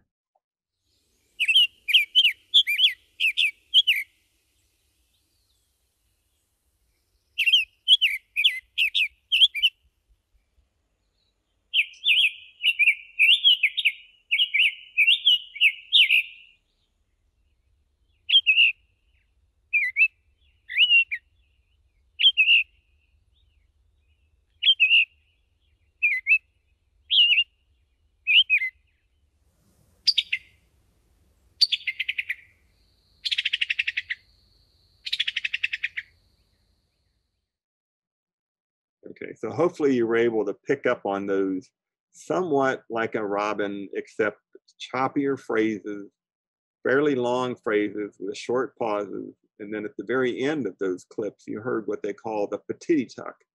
So if you look at that handout that Shannon sent, uh, Harriet's description had that in there. It's the tuck.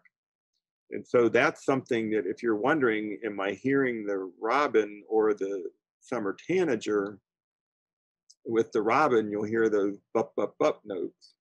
Uh, very much uh, the bright, cheery phrases of the robin, but it's going to have the bup, bup, bup. The summer tanager, on the other hand, does those tuck. And so as you're sitting there listening to the phrases, and you're going, hmm, give me a hint, give me a hint. And all of a sudden the summer tanager goes patitty tuck. Well, then he just told you, I'm the summer tanager. Okay. So when you're listening to him, it can be kind of confusing in that regard if you're just listening for the phrases. So the key is to make sure that you um, listen long enough to hear the patiti tuck or the bup bup bup. So I want to go back to all about birds because I want to uh, visit our friend the scarlet tanager. So the scarlet tanager is just absolutely a drop dead gorgeous bird. And in our area, they are found generally in the upper elevations. So if you live in Hoover, uh, if you live on the slopes of the Red Mountain or uh, Shade Mountain, you might be fortunate enough to have one of these as a breeding bird uh, near you. Um, certainly in Oak Mountain State Park, if you go up to the top of the ridge where Peavine Falls is located, you can hear them up there. So it really is the upper, it, we're right at the dividing line where these occur as a breeding bird. Further north from here, they're not so much confined to the upper elevations where they're found, but in our area, that's generally the case. But as we listen to the Scarlet Tanager, you're going to hear those same robin like phrases. But note that the phrases are shorter and the pauses are longer. So short phrase, long pauses. And then when it finally does give you his little gimme, his little uh, give me a hint notes, what it's going to say is chick burr, chick burr. So let's listen for this.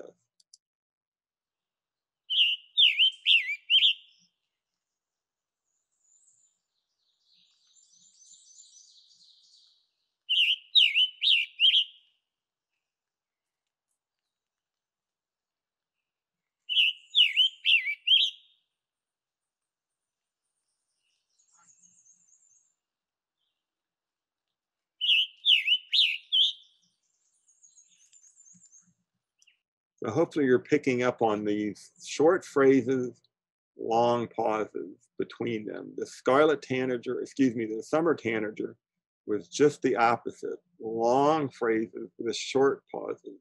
So I think I may have to go over here to the sounds tab to get to the calls. The, so the, the chickbur notes are what we would call um, the calls. So here in the description, they make the distinctive chickbur. So let's listen.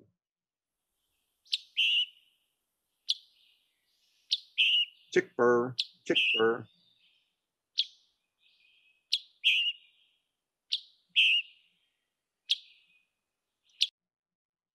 Okay, so just to recap, we had the American robin with this bright, cheery, chirlup, chirly, chirlup, chirly. It goes on and on and on, and it just um, it doesn't really when it pauses. It might be a very short pause, but they just overall very long strings of phrases, very bright, cheery, up, down, kind of all over the place. And when it does give its call notes, it's just this uh, bup, bup, bup kind of notes. The summer tanager, somewhat like a hoarse robin, uh, has long phrases with short pauses, and he does the little patiti tuck. And then on the scarlet tanager, it is the short phrases with long pauses. So those are the things you want to listen for. So when they talk, talk about the robin song family, that's what they're talking about. And the last bird that is in our area that has that is part of that family is one that is passing through right now as we speak. They're here for about three weeks in the spring when they're singing. And this is the adult, uh, the, excuse me, the male rose-breasted grosbeak, just a drop dead, gorgeous, take your breath away bird. If you've got a feeder out with black oil sunflower seed, hopefully one will pay you a visit uh, in these next couple weeks that they're here. But they showed up about a week and a half ago, and they'll probably be here for another week or so, maybe week and a half. They breed not too far north of Alabama, so it's unfortunate that that they don't breed here, but they don't, uh, unfortunately. But with the case of the uh, rose-breasted grosbeak, very much the robin-like phrases, but this is a robin that has taken voice lessons from, you know, the teacher at the Met. So let's listen to a robin uh, that sings opera.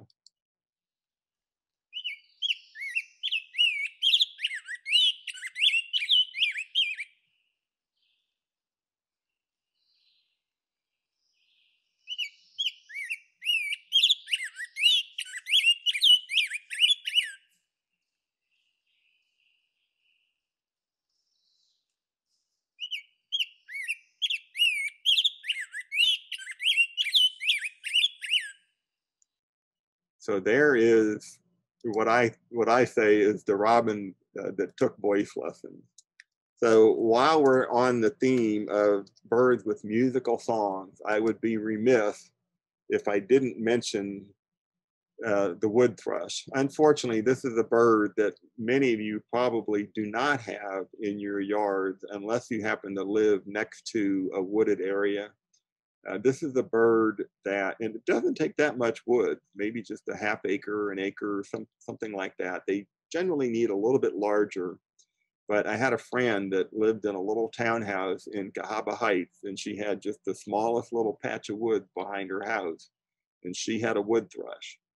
And this is what she got to listen to every morning.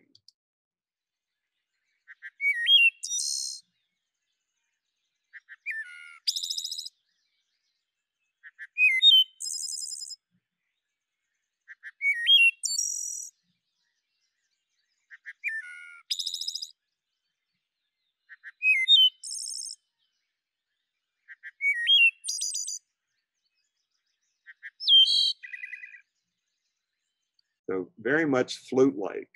And I didn't mention this at the beginning, but the wood thrush is a really good uh, bird, a good example of a bird to talk about this. The reason they're able to make such uh, varied songs and uh, uh, vocalizations for the most part, for the songbirds at least, is that their their voice box.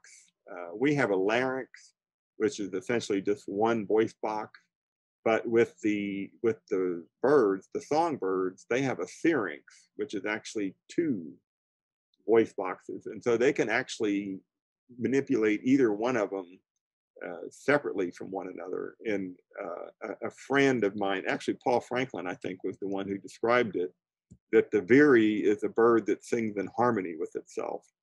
So that's going to be your homework assignment for tonight. Once we're done here, is to go to the All About Birds website and just veery, it's V E E R Y, and listen to that. It is just the most ethereal uh, sound but let me go back. I do have just a few more that I want to show you uh, or introduce you to uh, from here.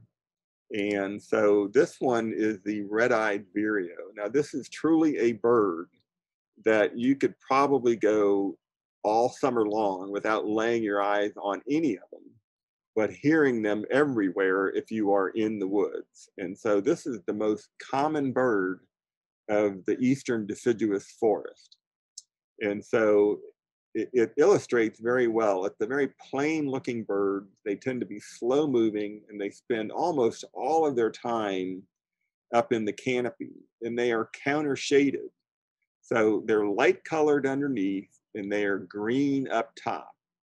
And so if you are below the bird looking up, you see white against white. And if you see, if you were somehow looking on the bird from above, you see green against green. So it blends in very well. And the fact that they hardly move when they're singing just makes them so difficult to actually see one. However, yes. Does it actually have a red eye? It does. And so you bring up a very good point. So this one is a bird that I photographed last uh, fall. I think it was in September. Uh, and the immature birds have dark eyes, but the adult birds have red eyes. If you remember the red eye of the um, towhee, that bright, bright brick red with the um, with the uh, red-eyed vireo, it's the same color. Okay, it's just that the juvenile birds, and this is true of a lot of birds, the juveniles have a different eye color than the adults do. So you're very good at making that observation.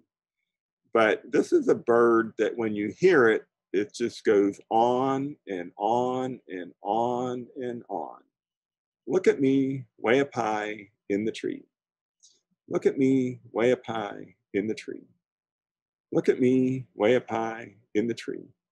And I think I remember reading, it may have been on the All About Birds website, but it mentions that these birds sing as many as 40,000 phrases in a day. So what that tells me is that some poor grad student, when he was doing his research, had to record how many times a red-eyed vireo sang in an hour. And then he came back an hour later and recorded, are they still singing at the same rate? And then an hour later. And so listen to this. It's rather monotonous, slightly musical, but it just goes on and on and on and on. Even when all the other birds have stopped singing mid-morning, a lot of our birds sing early in the morning and then about 10 30 11 o'clock when it starts to get warm they have the sense to kind of cool it for a little bit. Not the red-eyed vireo. Red-eyed vireo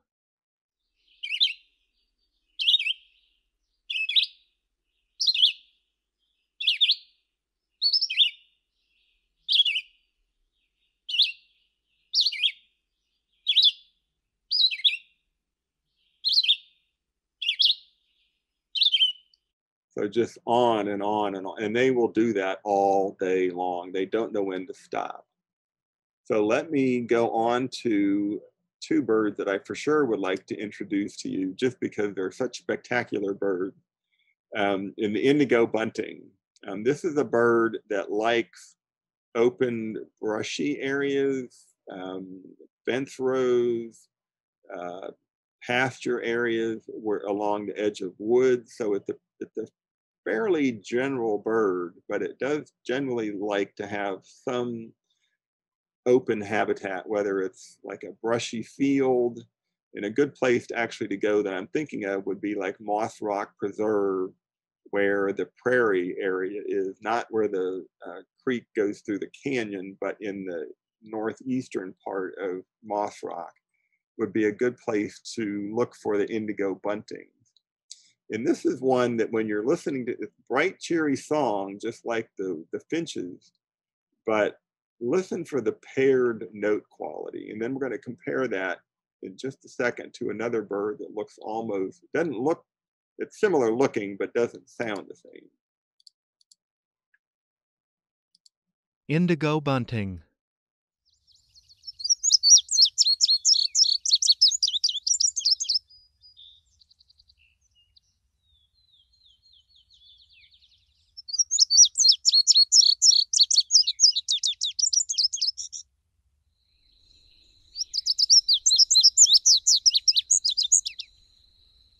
Hopefully you can hear that, this like sweet, sweet, choo choo, sweet, sweet, choo choo choo.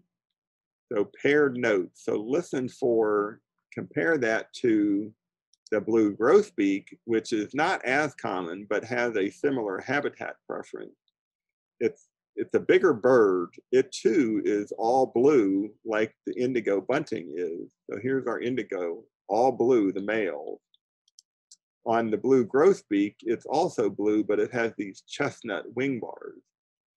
But when you hear the songs, listen for the quality of the indigo bunting, but it's a huskier, deeper voice, and the notes are not paired. Blue grosbeak.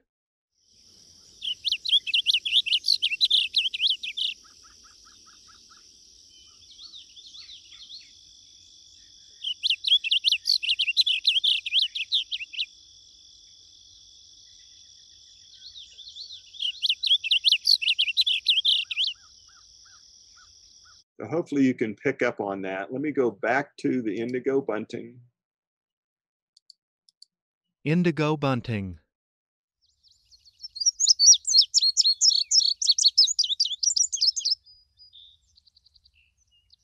So hopefully you're able to pick up on the paired note quality, very bright, cheery.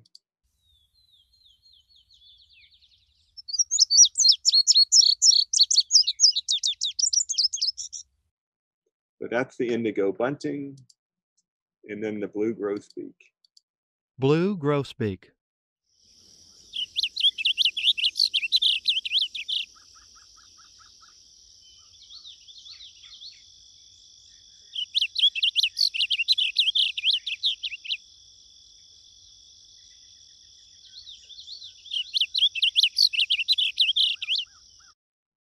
Okay, and then I want to wrap up just with two more birds and then we'll call it a night, but I'll be glad to answer any questions that you have. So I mentioned earlier that we had an Audubon field trip that went down to Ebenezer Swamp and probably the signature bird that everybody wants to see when they go to uh, Ebenezer is the Prothonotary warbler. And if this is a bird that you have not ever seen, you owe it to yourself to go to Ebenezer Swamp. There's a lovely boardwalk that goes through the swamp. It's probably about maybe 200 yards long, 150 yards, something like that. And the Prothonotary warbler, which used to be called the golden swamp warbler, uh, breeds there. And they are just a spectacular sight to see.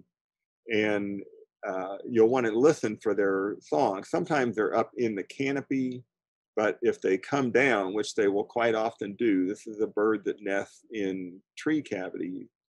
And so it's not uncommon for them to come right down to eye level, uh, maybe even right on, they'll stand on the, on the edge of the boardwalk. But listen for the sweet, sweet, sweet, sweet, sweet note of the Prothonotary warbler. Prothonotary warbler.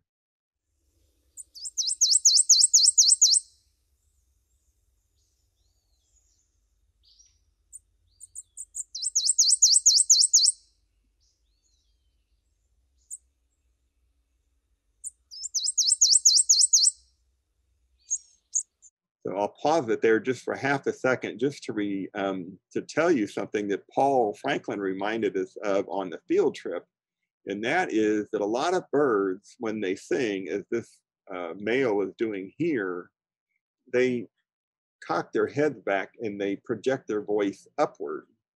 And so, as Paul reminded us, a lot of times when you're looking for the bird, you might be looking too high because they're projecting their voice upward and then it's bouncing off the leaves and coming back down to your ears from a higher elevation than the bird really is. So I encourage you to go there. It's on County Road 24. It's it's the Shelby County Airport Road exit. Uh, and you can just Google it. It's called Ebenezer Swamp Ecological Reserve. It's part, it's in Montevallo, and it's a field station for the University of Montevallo. And then the other bird that I want to mention that also occurs there is the northern parula. And this is one that kind of tests the limits of your hearing in that it's this nice ascending buzzy trill, and then it has a little hiccup at the end. Northern Parula.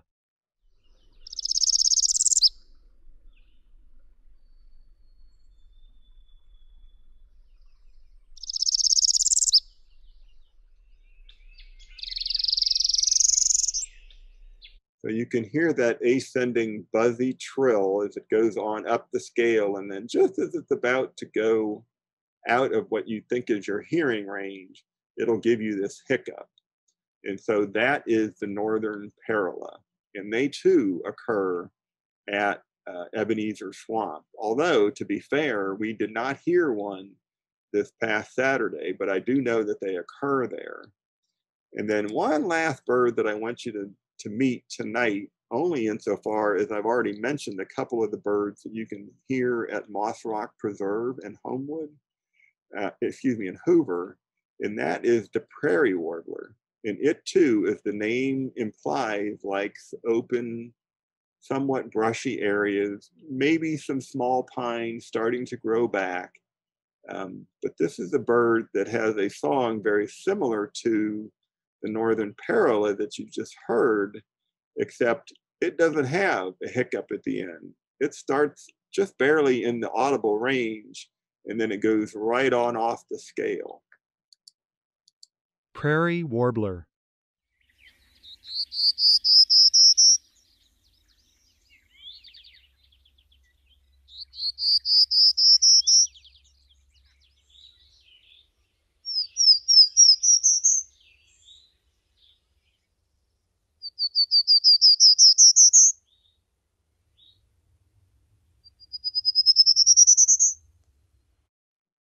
So hopefully, I, I'll close tonight then with this slide, and image of the uh, chimney swift going to roost. This is a picture I made oh, a couple years ago, I guess, in September. This is a in a, a, a feature we don't uh, have this time of the year for the most part, and that's the chimney swifts going to roost.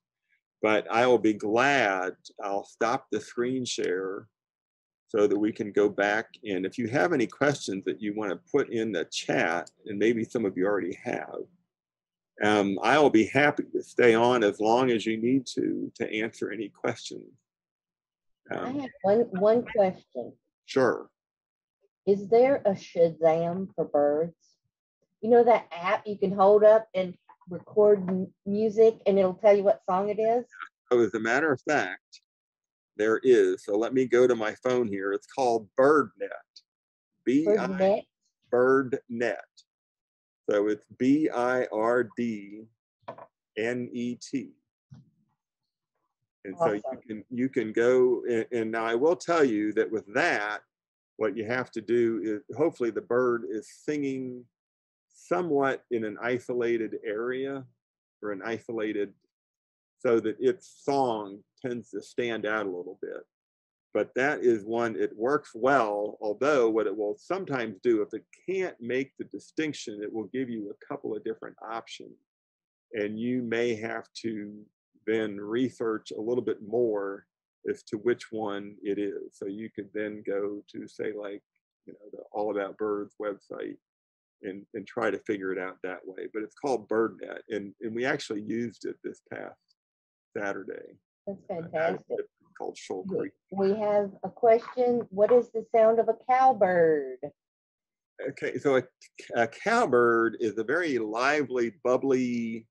Uh, it, it reminds me of a pachinko machine. If you ever had one of those that had all the little balls cascading, so that's the sound that I typically hear with the brown-headed cowbird. It's kind of like a bubbly, cascading kind of annoying. It's a lovely sound. Um, it- it- the brown-headed cowbirds unfortunately have a bit of a bad reputation because they're brood parasites and they nest in they lay their eggs in the nest of other birds and you really can't fault the brown-headed cowbird for that because this is a species that is from the american west and out west they would follow uh, bison herds around the prairie and so as, if you're following the, the bison herds because you're feeding on the insects that the bison are stirring up, well, then you really can't stay put long enough to raise young.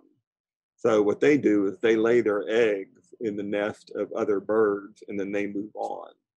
So the fact that we have them here in Alabama is a testament to the fact that we have logged so many of our forests that we've created the open areas that they need uh, to uh, to survive. Um, there's one comment from some strange man, happens to be my husband. Common crows and fish crows look alike but sound different, and we have both around here. Okay, so uh, Randy is absolutely right. So they look alike, but they sound. Fish crow is a little bit smaller. If you had them side by side, you might tell them apart. But with the fish crow, it has a very nasal sounding. "ah, ah." So the way that I like to remember that, and maybe this can be your homework assignment number two, is to go to All About Birds and listen to the fish crow. It's this nasal two-noted "ah, ah, ah, ah." And the way that I like to remember that, me and my little mnemonic devices here, is you ask the crow, "Are you an American crow? Are you an American crow?" And if he goes, "Ah, ah," then he just told you, "No, I'm not an American crow. I'm a fish crow." So the two-noted nasal "ah, ah," is the fish crow. So Thank you. That helps a whole bunch. hopefully that will help. The caveat is that when the um, American crows, when they have their young, the young can do a bit of a nasally call. Um, and the other thing that maybe this Randy was kind of implying is that the fish crow likes to be near water. Um, and where I'm from originally in Florida, and where my family is down at the coast, down there the default crow is the fish crow.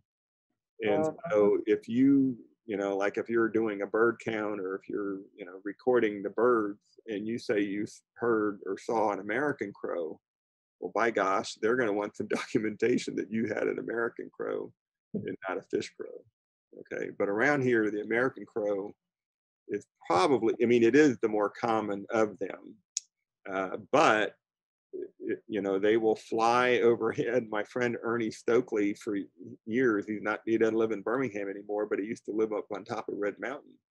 And he would hear fish crows flying to and from their roost they roosted somewhere probably near red mountain i think but they would fly over his house headed to the coosa river where they would be more commonly found in the daytime. So the fish crow does like being near water but that doesn't mean that you can't hear them if they're going back and forth.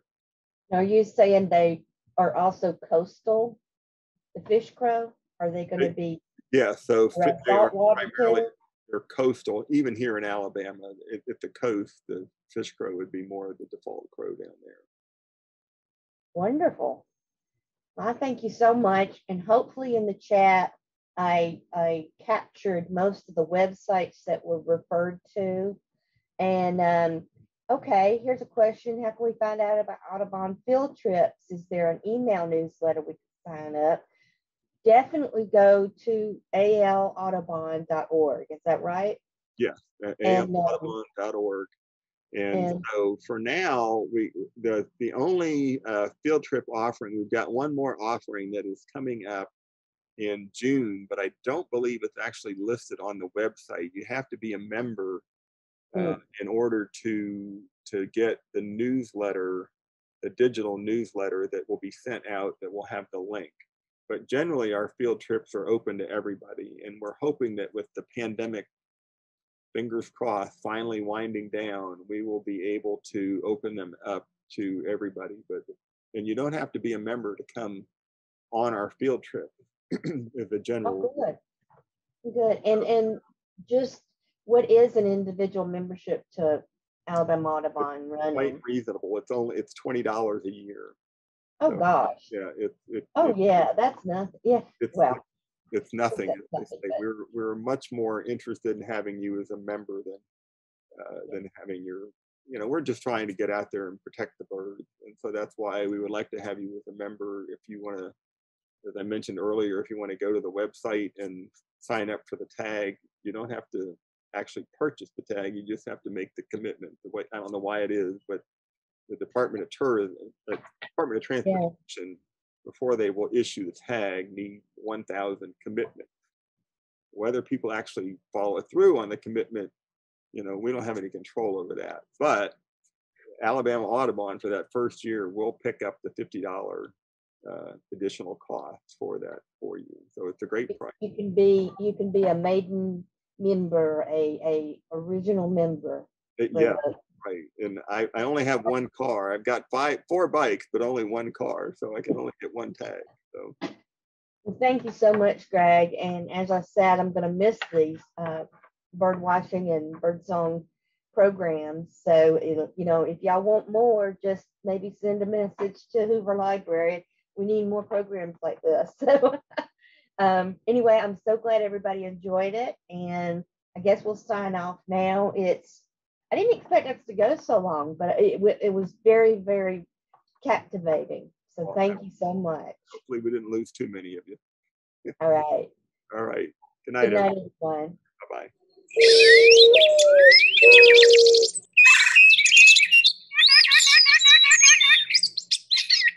Ooh, ooh, ooh, ooh.